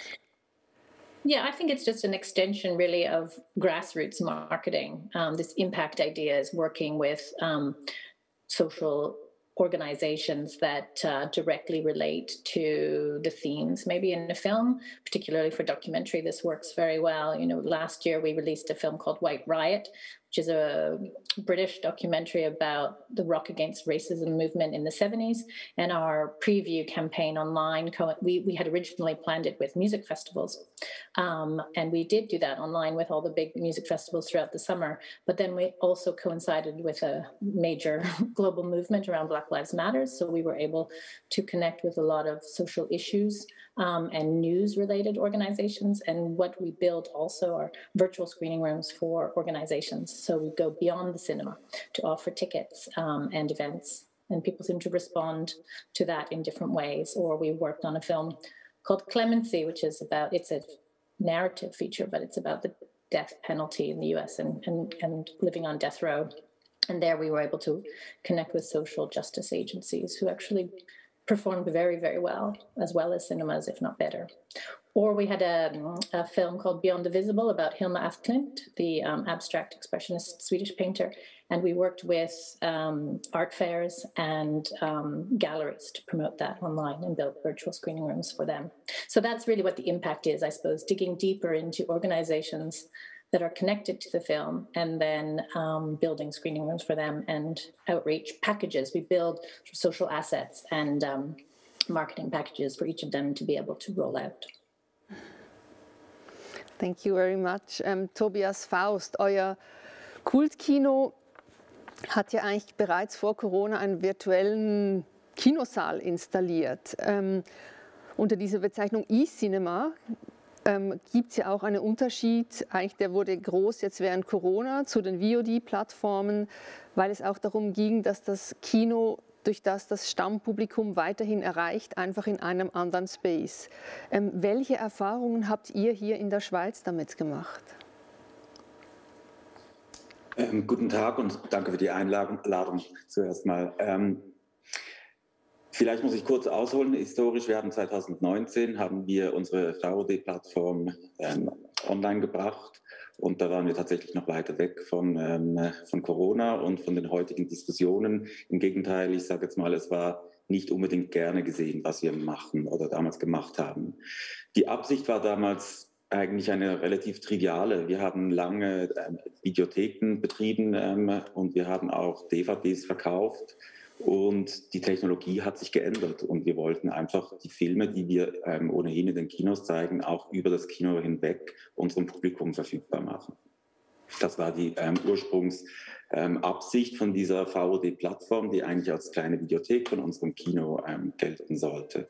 Mit Corona hat sich einiges geändert und sie wurde bekannt. Wir hatten logischerweise dann auch die technische Ausgangslage, relativ schnell zu agieren in dieser Krise und ähm, unser Kino, ich sage jetzt mal, digital weiterzuführen. Und Sie sprechen jetzt äh, das E-Cinema an, welches eben quasi ähm, das Kino virtualisieren soll. Und damit im Sinne von quasi linearem Kino ähm, mit äh, Premieren und Kinotickets verkaufen, haben wir eigentlich, wenn ich ehrlich bin, keine Erfahrung. Und das steht so ein bisschen im Raum. Wir haben Filme damals lanciert, nur online, ausschließlich online, zu einem Preis von ähm, Kinotickets. Das, ähm, aber technologisch oder von der Verfügbarkeit her war das vergleichbar zu klassischem VOD, also Katalogtechnologie. Ähm, Man konnte ihn einfach abrufen zu diesem Preis, obwohl es eine äh, Premiere war. Und die Frage, was geschieht, wenn wir Kino eben ähm, wirklich virtualisieren, also zeitkritisch allenfalls ähm, spielen ähm, zu einer bestimmten Zeit und mit einem wirklich virtuellen Saal gefühlt als ähm, Live-Veranstaltung. Dazu können wir wenig sagen. Was wir allerdings am Machen sind aus den Erfahrungen von, äh, mit Corona, wir sind im, im, Moment daran, die ganze Plattform komplett umzubauen.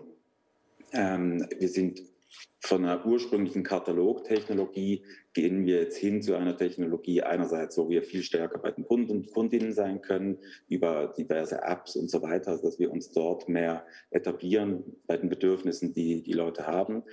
Aber noch viel wesentlicher ist, dass wir technologisch so aufgestellt sind, dass wir alle Variationen abbilden können. Also wir, wir möchten in Zukunft Live-Veranstaltungen ähm, problemlos kombinieren können mit ähm, Aufzeichnungen. Wir wollen aber auch Aufzeichnungen problemlos zeitkritisch spielen können und oder eben das auch nochmal kombinieren. Der Katalog an sich, ähm, das ist, ich sage jetzt mal technisch auch die einfachste ähm, Geschichte, die haben wir schon gelöst. Also ähm, dort sind ganz andere Herausforderungen, die wir sehen. Wir haben beispielsweise im Moment äh, gut über 500 Filme und die Frage des Kuratieren, der Orientierung, die stellt sich schon bei einem verhältnismäßig kleinen Volumen von 500 Filmen verglichen zu Netflix oder anderen ähm, schon da. Und das ist eine sicher ziemlich große Herausforderung, wie wir eine Marke und eine Orientierung in diesem Raum schaffen können für die Leute. So wie wir das eigentlich im Kino tun. Ähm, dort gibt es ja durch die Leinwände, durch die Orte und durch die Filmauswahl automatisch eine Knappheit, die als Orientierung wahrgenommen wird vom Publikum. Und diese Gegebenheit, die ähm, fällt weg im digitalen Raum. Und ähm, kann nur bedingt künstlich hergestellt werden, weil sie gleichzeitig, wenn immer ich eine Knappheit herstelle im digitalen Raum, irgendwie auch nicht ganz verstanden wird. Also wieso soll ein Film jetzt nicht verfügbar sein, nur damit ich mich besser orientieren kann? Und da gibt es im digitalen Raum auf jeden Fall einen Zielkonflikt, den es zu lösen gilt. Und das ist unsere tägliche Herausforderung, mit der wir uns auseinandersetzen. Und was heißt das jetzt für euch Kinobetreiber? Jetzt ähm, gehen die Kinosäle langsam wahrscheinlich wieder auf, ab morgen. Ähm, ihr habt jetzt Erfahrung im digitalen Raum gemacht. Wie wird das weitergehen? Also werdet ihr euch mehr in den digitalen Raum verlagern? Werdet ihr schauen, dass ihr das Kino, den Kinosaal wieder attraktiver machen könnt oder noch attraktiver? Wie, wie geht ihr mit dieser Möglichkeit der Hybriden, der Parallelumwertung Auswertung und ja, dem Kino an und für sich überhaupt um jetzt in Zukunft? Was plant ihr da? Also wir sind da tatsächlich nicht mal unbedingt am Planen, sondern direkt schon am Umsetzen. Wir haben ähm, bis jetzt schon einen Saal komplett umgebaut, dass wir Live-Veranstaltungen durchführen können. Zwei weitere Säle sind in Planung und die anderen Säle sind optional, können die auch nachgerüstet werden. Ähm, konkret geht es darum, dass wir beispielsweise das, was jetzt hier gerade passiert, ähm, abbilden wollen können im Kino. Ähm, das Bildrausch Filmfestival wird im Juni in unseren Sälen oder mitunter auch in unseren Sälen durchgeführt und dort wollen wir eben die ganzen ähm, Talks und ähm, Rahmenprogramme live streamen können und aber auch die Filme zeitkritisch ähm, streamen können. Also sprich, es geht so trivial das als, als Endprodukt dann wirkt, ist es eben gar nicht so trivial zu sagen, wir haben eine Begrüßung, anschließend spielen wir den Film, der aufgezeichnet ist und anschließend haben wir wieder ein ähm, Gespräch. Und das Ganze findet zeitkritisch statt und kostet ein Kinoticket. Ähm, da sind wir im Moment daran, ähm, das umzurüsten, also die Kinoräumlichkeiten da, dafür umzurüsten. Und wie ich vorher eben erwähnt habe, ist es natürlich auch serverseitig in der Technologie wesentlich, das umrüsten zu können oder umzurüsten, dass wir, dass wir das abbilden können. Da sind wir dran. Die Frage zielt ja aber auch so ein bisschen ähm, darauf ab, also Sie haben es gesagt, Attraktivität des Kinos. Ähm, offensichtlich sehen wir keine Konkurrenz dieser äh, Formate. Und ich glaube persönlich auch nicht, dass es wahnsinnig sinnvoll ist, das Kino einfach mal zu virtualisieren oder zu glauben, ähm, online ist ein virtueller Kinosaal. Online ist ja primär einfach mal eine Technik. Das ist ja kein Format an sich. Und ähm, ich glaube, die Formate, die man online besser bringen kann, sind andere Formate, als man im Kino bringen kann. Und ich glaube, wir tun uns einen Gefallen, wenn wir das auch ähm, inhaltlich und kuratorisch gescheit trennen und bespielen. Ähm, es gibt natürlich auch Schnittmengen und auch Chancen ähm, in diesem ganzen Bereich. Aber ich glaube nicht, dass das Kino bedroht ist. Also mich stört es immer wieder, wenn das Kino so ein bisschen wie ähm, ein so äh, schützenswer schützenswerter Ort ist. Ich glaube, viele Kinos, zumindest jetzt hier in der Schweiz, können sich sehr gut behaupten, behaupten sich auch und ähm, haben eine absolute ähm, eigenständige Berechtigung und können nicht so einfach und ähm, trivial angegriffen werden, nur jetzt durch das Internet. Und ich glaube, da muss man auch achten darauf, dass man sich nicht zugleich macht und ähm, angreifen lässt. Mischa Schiwow, du als Verleiher und Filmpromoter, wie stehst du zu dieser neuen Entwicklung und wie siehst du jetzt auch die Möglichkeiten von eben Parallelauswertung online mit dem Kino, äh, mit neuen Promotionsformen? Also zuerst, ich finde es wirklich toll, was jetzt auch Tobias ausgeführt hat, dass es diese Möglichkeiten gibt und vielleicht ist der äh, Mai-Film auch ein, ein Pionier in, in, in, diesen neuen äh, Formen von, von äh, hybriden Auswertungen oder eben virtuellen Kinosälen. Äh, ich muss sagen, äh, heute entsteht für mich so ein wenig der Eindruck, ähm, dass wir in einer neuen Welt angekommen sind. Also wenn ich den anderen Panel-Teilnehmerinnen äh, zu, zugehört habe, äh, geben alle eigentlich ähm, zu Protokoll, dass, dass wir schon in der neuen Welt sind. Und ich komme mir ein wenig blöd vor, weil ich bin noch ein wenig in der alten Welt. Äh, die Verleiherinnen und Verleiher ähm, sind noch in einer Ökonomie äh, verhaftet wo, wo das noch nicht so ganz möglich ist, dieses, äh, das, dieses neue Denken. Ähm, wir haben den Eindruck, dass, dass, ähm, dass wir halt eben immer noch vom Kino sehr stark abhängig sind. Also wir können die Filme nicht einfach virtuell rausbringen, auch wenn es jetzt ein paar Beispiele gibt, wo man das äh, versucht mhm. hat.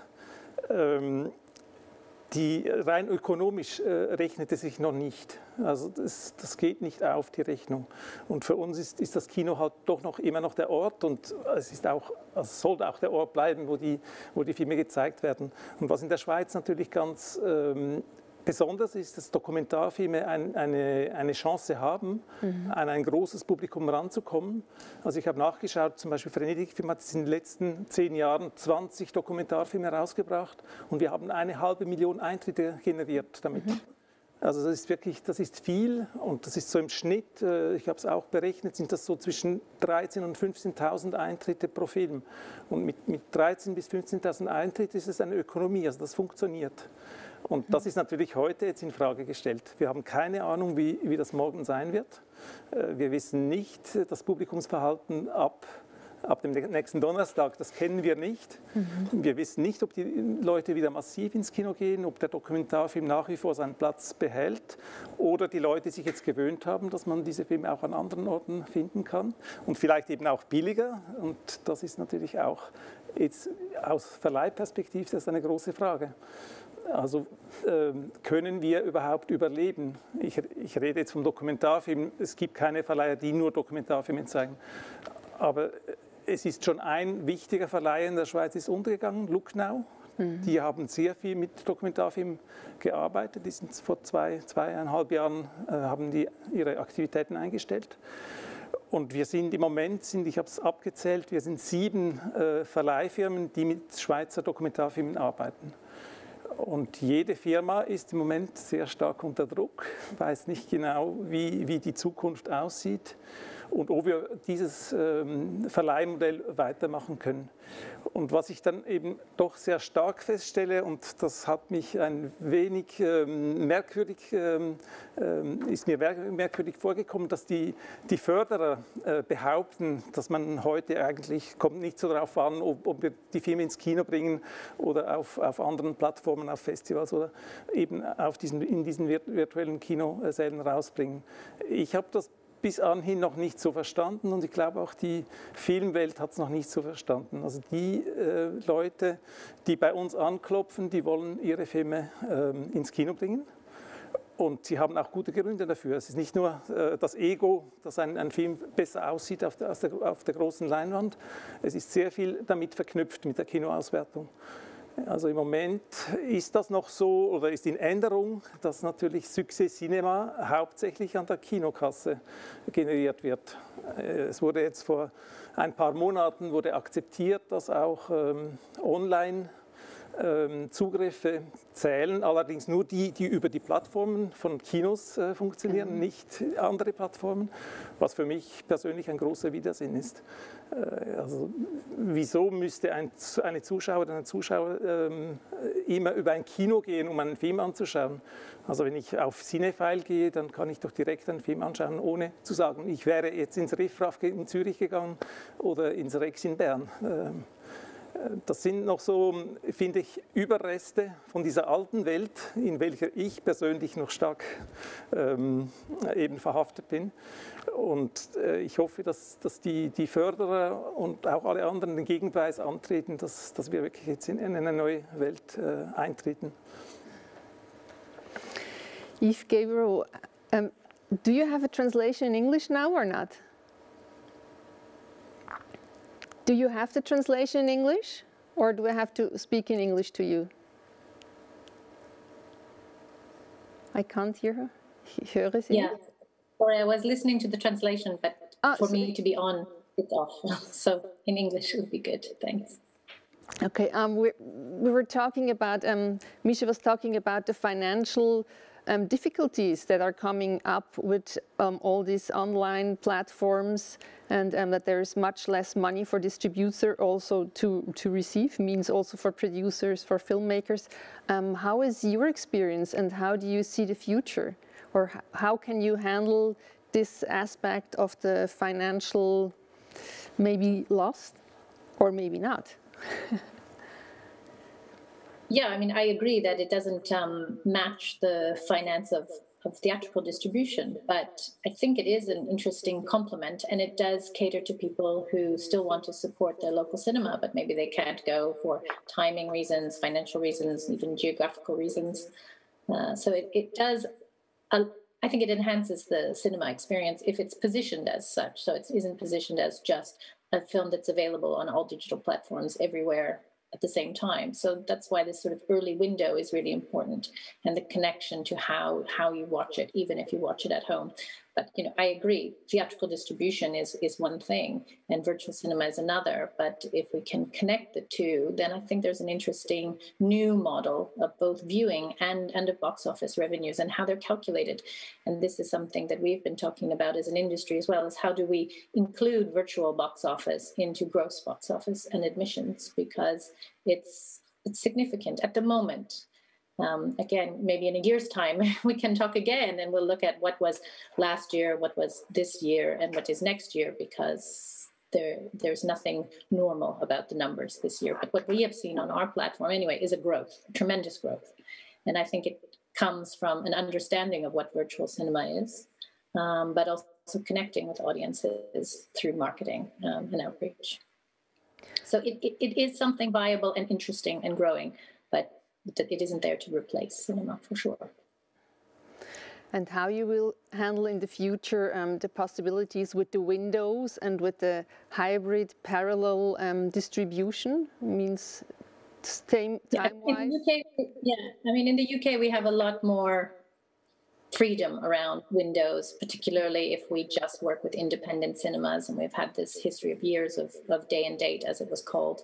Um, I think it's it's changed a lot in the last year what that means and which cinemas are willing to show films, particularly in documentary. You know, even the multiplexes and the independent cinemas that that insist on a full window um, before any other rights are exploited are open to screenings of documentaries uh, within a context of maybe a strand or or a theme or an event.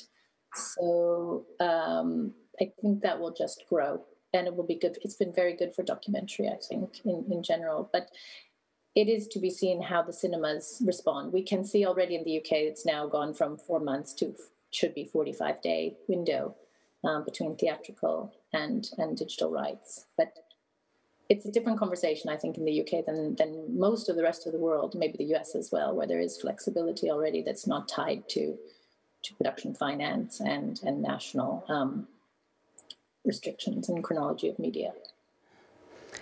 Thank you. Ähm, Tobias, in der Schweiz haben wir eine ähnliche Situation eigentlich. Wir haben ja auch nicht diese wahnsinnig langen Zeitfenster. Wie denkst du, wie werdet ihr mit diesen Zeitfenster oder mit Zeitversetzt umgehen jetzt auch nach der Pandemie oder durch die Pandemie? Ähm, ich denke, also es ist ja wirklich eine interessante äh, Diskussion und ich habe vorhin diese ähm, Bemerkung, diese ketzerische Bemerkung gemacht, ähm, ebenso der schützende, zu schützende Raum Kino. Ähm, Herr Schivo hat es vorhin angesprochen, eben das führt zu so speziellen Situationen, wie dass ein Film auf einer Plattform nur dann Subventionen ähm, erhält, wenn jemand eben ein Kino anwählt, in einer anderen Situation oder das Kino nicht anwählt, bekommt er keine ähm, äh, Subventionen, der gleiche Film, die gleichen Zuschauer, die gleiche Plattform.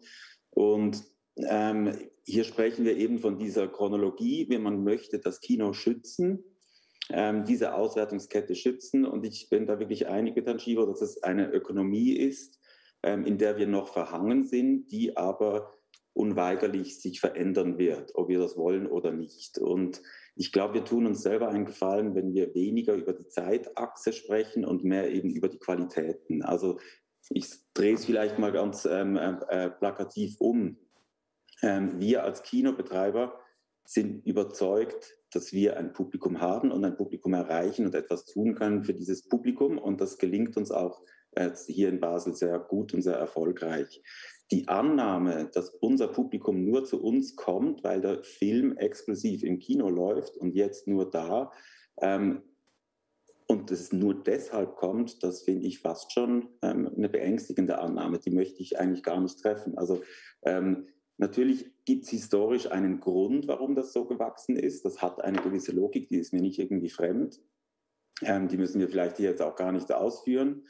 Ähm, aber ich denke, die wird unter Druck kommen. Und die Frage ist tatsächlich, wie können wir in Zukunft die Qualitäten der einzelnen ähm, Medien richtig anwenden. Und ich fand es schön vorhin in dem ähm, ersten Teil des Panels zu hören, wie eben die Produzenten, aber auch die Filmemacher und Filmemacherinnen schon früh an das Publikum denken und an den Kanal allenfalls auch schon denken. Weil wir haben tatsächlich heute das Problem, dass wir als Kino mit einem ähm, 60-minütigen Dokumentarfilm konfrontiert werden, äh, der eigentlich schon in der Machart fürs Fernsehen gedacht war, aber aufgrund von der Subventionslogik her dann halt doch noch die Schlaufe durchs Kino nehmen muss. Und ich glaube, solche Geschichten ähm, dürften sich in Zukunft allenfalls auflösen und verändern. Und ich glaube, die Attraktion vom Kino ähm, auf der Zeitachse entsteht eben auch dadurch, dass ähm, das Kino eine Wertigkeit gibt. Also eben wie ein, ein Film, der im Kino lief, jetzt im Speziellen hier ein Dokumentarfilm, ähm, der vielleicht auch besprochen wird, mit Rahmenprogrammen, der kontextualisiert wird, der erhält eine, eine, gewisse Glaubwürdigkeit und das ist die Marke vom Kino, die das gibt, ähm, die ganze Arbeit drumherum und das hilft tatsächlich dann auch auf den anderen Kanälen. Und ich glaube, diesen Fokus finde ich fast spannender und attraktiver, ähm, als zu sagen, ja, wir zeigen ihn jetzt im Kino, weil ähm, ja, wir haben Geschäftsbeziehungen und ihr braucht die Subventionen und es ist ähm, eigentlich zwar nicht gedacht fürs Kino. Ähm, in dem Sinne denke ich, also für uns die Energie darauf zu verwenden, das Fenster zu verteidigen, ist, glaube ich, der falsche Fokus und einfach ein verlorener Kampf auf Zeit. Ähm, viel bedrohlicher finde ich zu sehen, dass während wir das Fenster verteidigen als Branche, wechseln die Produktionsbudgets in Formate, die kinofremd sind. Und das, glaube ich, ist eine viel größere Bedrohung und da müsste man viel mehr ähm, hinschauen, ähm, wie, wie sind die Geldflüsse, die ganzen Investitionen, weil wenn Kinofilm tatsächlich eigentlich nur noch die kleinen Budgets bekommt und eben nicht mehr die prestigeträchtigen Filme, die wir brauchen, um eine Marke zu bilden, ähm, dann äh, wird es problematisch. Und das sehe ich eigentlich fast als größere Bedrohung fürs Kino. Gibt es Fragen? Ich habe einen äh, Kommentar. Um, there are many small and younger distributors taking up small films with 2,000 to 12,000 spectators. The group screenings, which pay for each person in the group, are essential for achieving success. Maybe it could be interesting to how this could be combined within a distribution strategy for smaller films. Eve, do you want to answer? Have you understood the question? Yes, so, sorry, I was also listening to the interpretation, so I was on mute. Um, yeah, we do a lot of that, you know, even on virtual and in, in the kind of previous world and now in this hybrid space as well, where we do do group screening. So, and online we have been doing either with groups where they get a discount or where the whoever the organizer pays a screening fee and then all of the participants or the viewers get a um, get a viewing code or a viewing link so there is a way of of creating group activity. We do watch parties, which are slightly different. You can do film film groups, um, maybe organizations that sponsor a screening as they would have held before. So there's a lot of flexibility with the technology as well on how we can do group bookings. But again, you know, unless we can report those uh, numbers, they're really just internal to us uh, at the moment. But yes, we do focus a lot on group group bookings, but that's where the events come from. So we do the online events that hopefully trigger a lot of extra um, transactions to view the film, even if the events for the moment and for the most part are, are free and not geo blocked, um, whereas the films are geo blocked and, and transactional. Maybe to, to the last question to wrap up um, the podium. Um, Eve, what do you think? What will these um, um, developments mean for the public, for the viewers of documentaries? I think they enjoy the freedom of choice and being able to watch it when they want to, how they want to, but also still, if it's a theatrical documentary, that it still feels like a cinema, a piece of cinema that they're they're watching. So I and I do think that cinema going, especially for documentary, will be more event cinema driven, which is a, a, space we've worked in for a few years as well, which is trying to get more cinemas playing a film for one night or for a limited run um, and focus on something extra around the film rather than just play it and see what happens. I think that that's not a good use of cinema space in the future. Misha, wie siehst du das für das Publikum, die, die zukünftige Entwicklung? Es ist schwierig zu sagen. Ich, ich habe jetzt gerade zugehört, was Yves ähm, erzählt hat. Und ähm, letzte Woche wurde in, in, der NZZ am Sonntag vom Chef der Sektion Film vom BAC gesagt, dass die Verleiher hätten keine Experimentierfreudigkeit hätten und ich, ich fand das recht anmaßend. Äh, es hat mich überrascht, dass wir so angepflaumt werden, äh, weil ich habe den Eindruck, wir sind vielleicht noch nicht dort, wo, wo Eve ist mit, mit Modern Cinema. Sie, sie macht offenbar Sachen, die, die wir sicher auch noch ausprobieren könnten. Aber gerade in dieser äh, Pandemiesituation haben die Verleiher zusammen auch natürlich mit den Kinos recht viele Sachen ausprobiert. Ähm, es ist zum Beispiel bei, die Filmcopy hat, hat eine neue Plattform äh, ausgetestet. Ich glaube, dein Film wurde dort mhm, auch gezeigt. Ja. Ähm, und das ist auch so ein, ein Open-Source-Projekt, also sie wollen das allen zur Verfügung stellen. Also ich finde das eine ganz tolle Sache, dass sie das äh, ins Leben gerufen haben. Ich weiß, dass es andere Projekte gibt, äh, Outside the Box ist daran, ähm, äh, eben MyFilm ist so ein Projekt, äh, das, das äh, eine, gewisse äh, Wichtigkeit annimmt. Und ähm, also ich habe die Hoffnung, dass, dass wir jetzt äh, in, in den nächsten Monaten Sachen ausprobieren können, weil wir eben nicht wissen, wie wird das Publikum reagieren nach äh, Covid haben Sie jetzt irgendwie äh, die, die, Lust bekommen, die Filme zu Hause anzuschauen? Das ist ja einfacher und vielleicht ein, ein wenig billiger. Oder ist jetzt wieder äh, Kino angesagt und man will sich wieder gesellschaftlich treffen? Das wissen wir im Moment nicht. Aber wir, ich denke, wir, wir haben ähm, das Potenzial, das aufzufangen und ähm, eben mit verschiedensten Möglichkeiten, hybriden Auswertungsformen darauf zu reagieren. Also wir haben beispielsweise einen Film vom letzten Jahr, der hier äh, auch virtuell leider gezeigt wurde, Nemesis von Thomas Imbach. Der wurde jetzt dreimal verschoben, äh, Startdatum äh, irgendwie vom, Januar bis jetzt im, Mai. Und da haben wir uns entschieden, dass wir das hybrid machen, aber auf keinen Fall nicht nur virtuell. Also wir wollen den Film unbedingt auf die, auf die große Leinwand bringen, aber gleichzeitig, zum Beispiel bei MyFilm, den Film äh, auch dem Publikum virtuell anbieten. Und ähm, vielleicht muss, muss man als Verleiher heute die, die Sache so denken, dass, dass man vielleicht beides anbietet und so vielleicht auch ein größeres Publikum abholen kann. Tobias, wo siehst du die Chancen für das Publikum der Zukunft?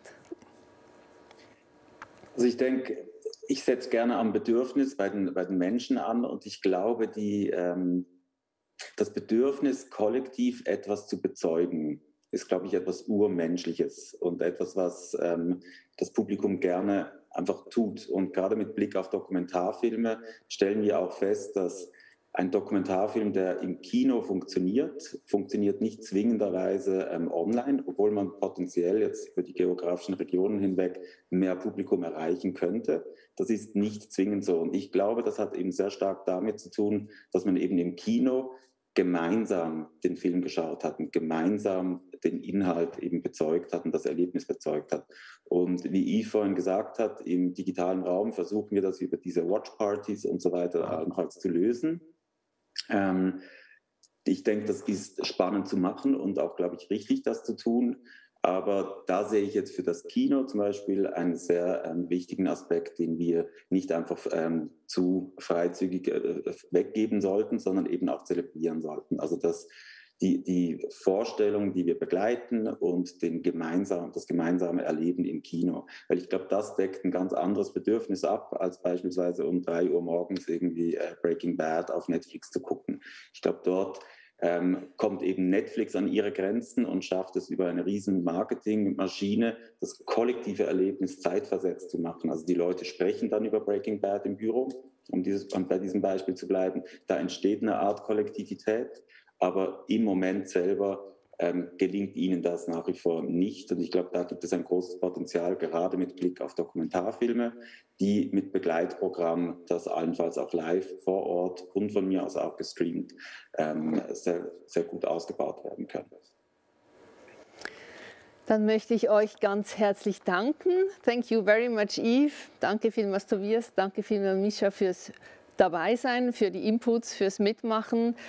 Herzlichen Dank an alle Zuschauerinnen und Zuschauer online hier im Saal, an alle Teilnehmer der Podien. Ich wünsche sehr für unsere kreativen Dokumentarfilme, dass wir diese neuen Möglichkeiten als Chance nutzen können und hoffentlich auch durch die verschiedenen Kanäle unsere Filme in das Herz eines globalen Publikums vielleicht auch wirklich tragen können. Also ich danke euch wirklich sehr fürs Mitmachen und für die tollen Aussichten und Inputs. Das macht Hoffnung. Danke.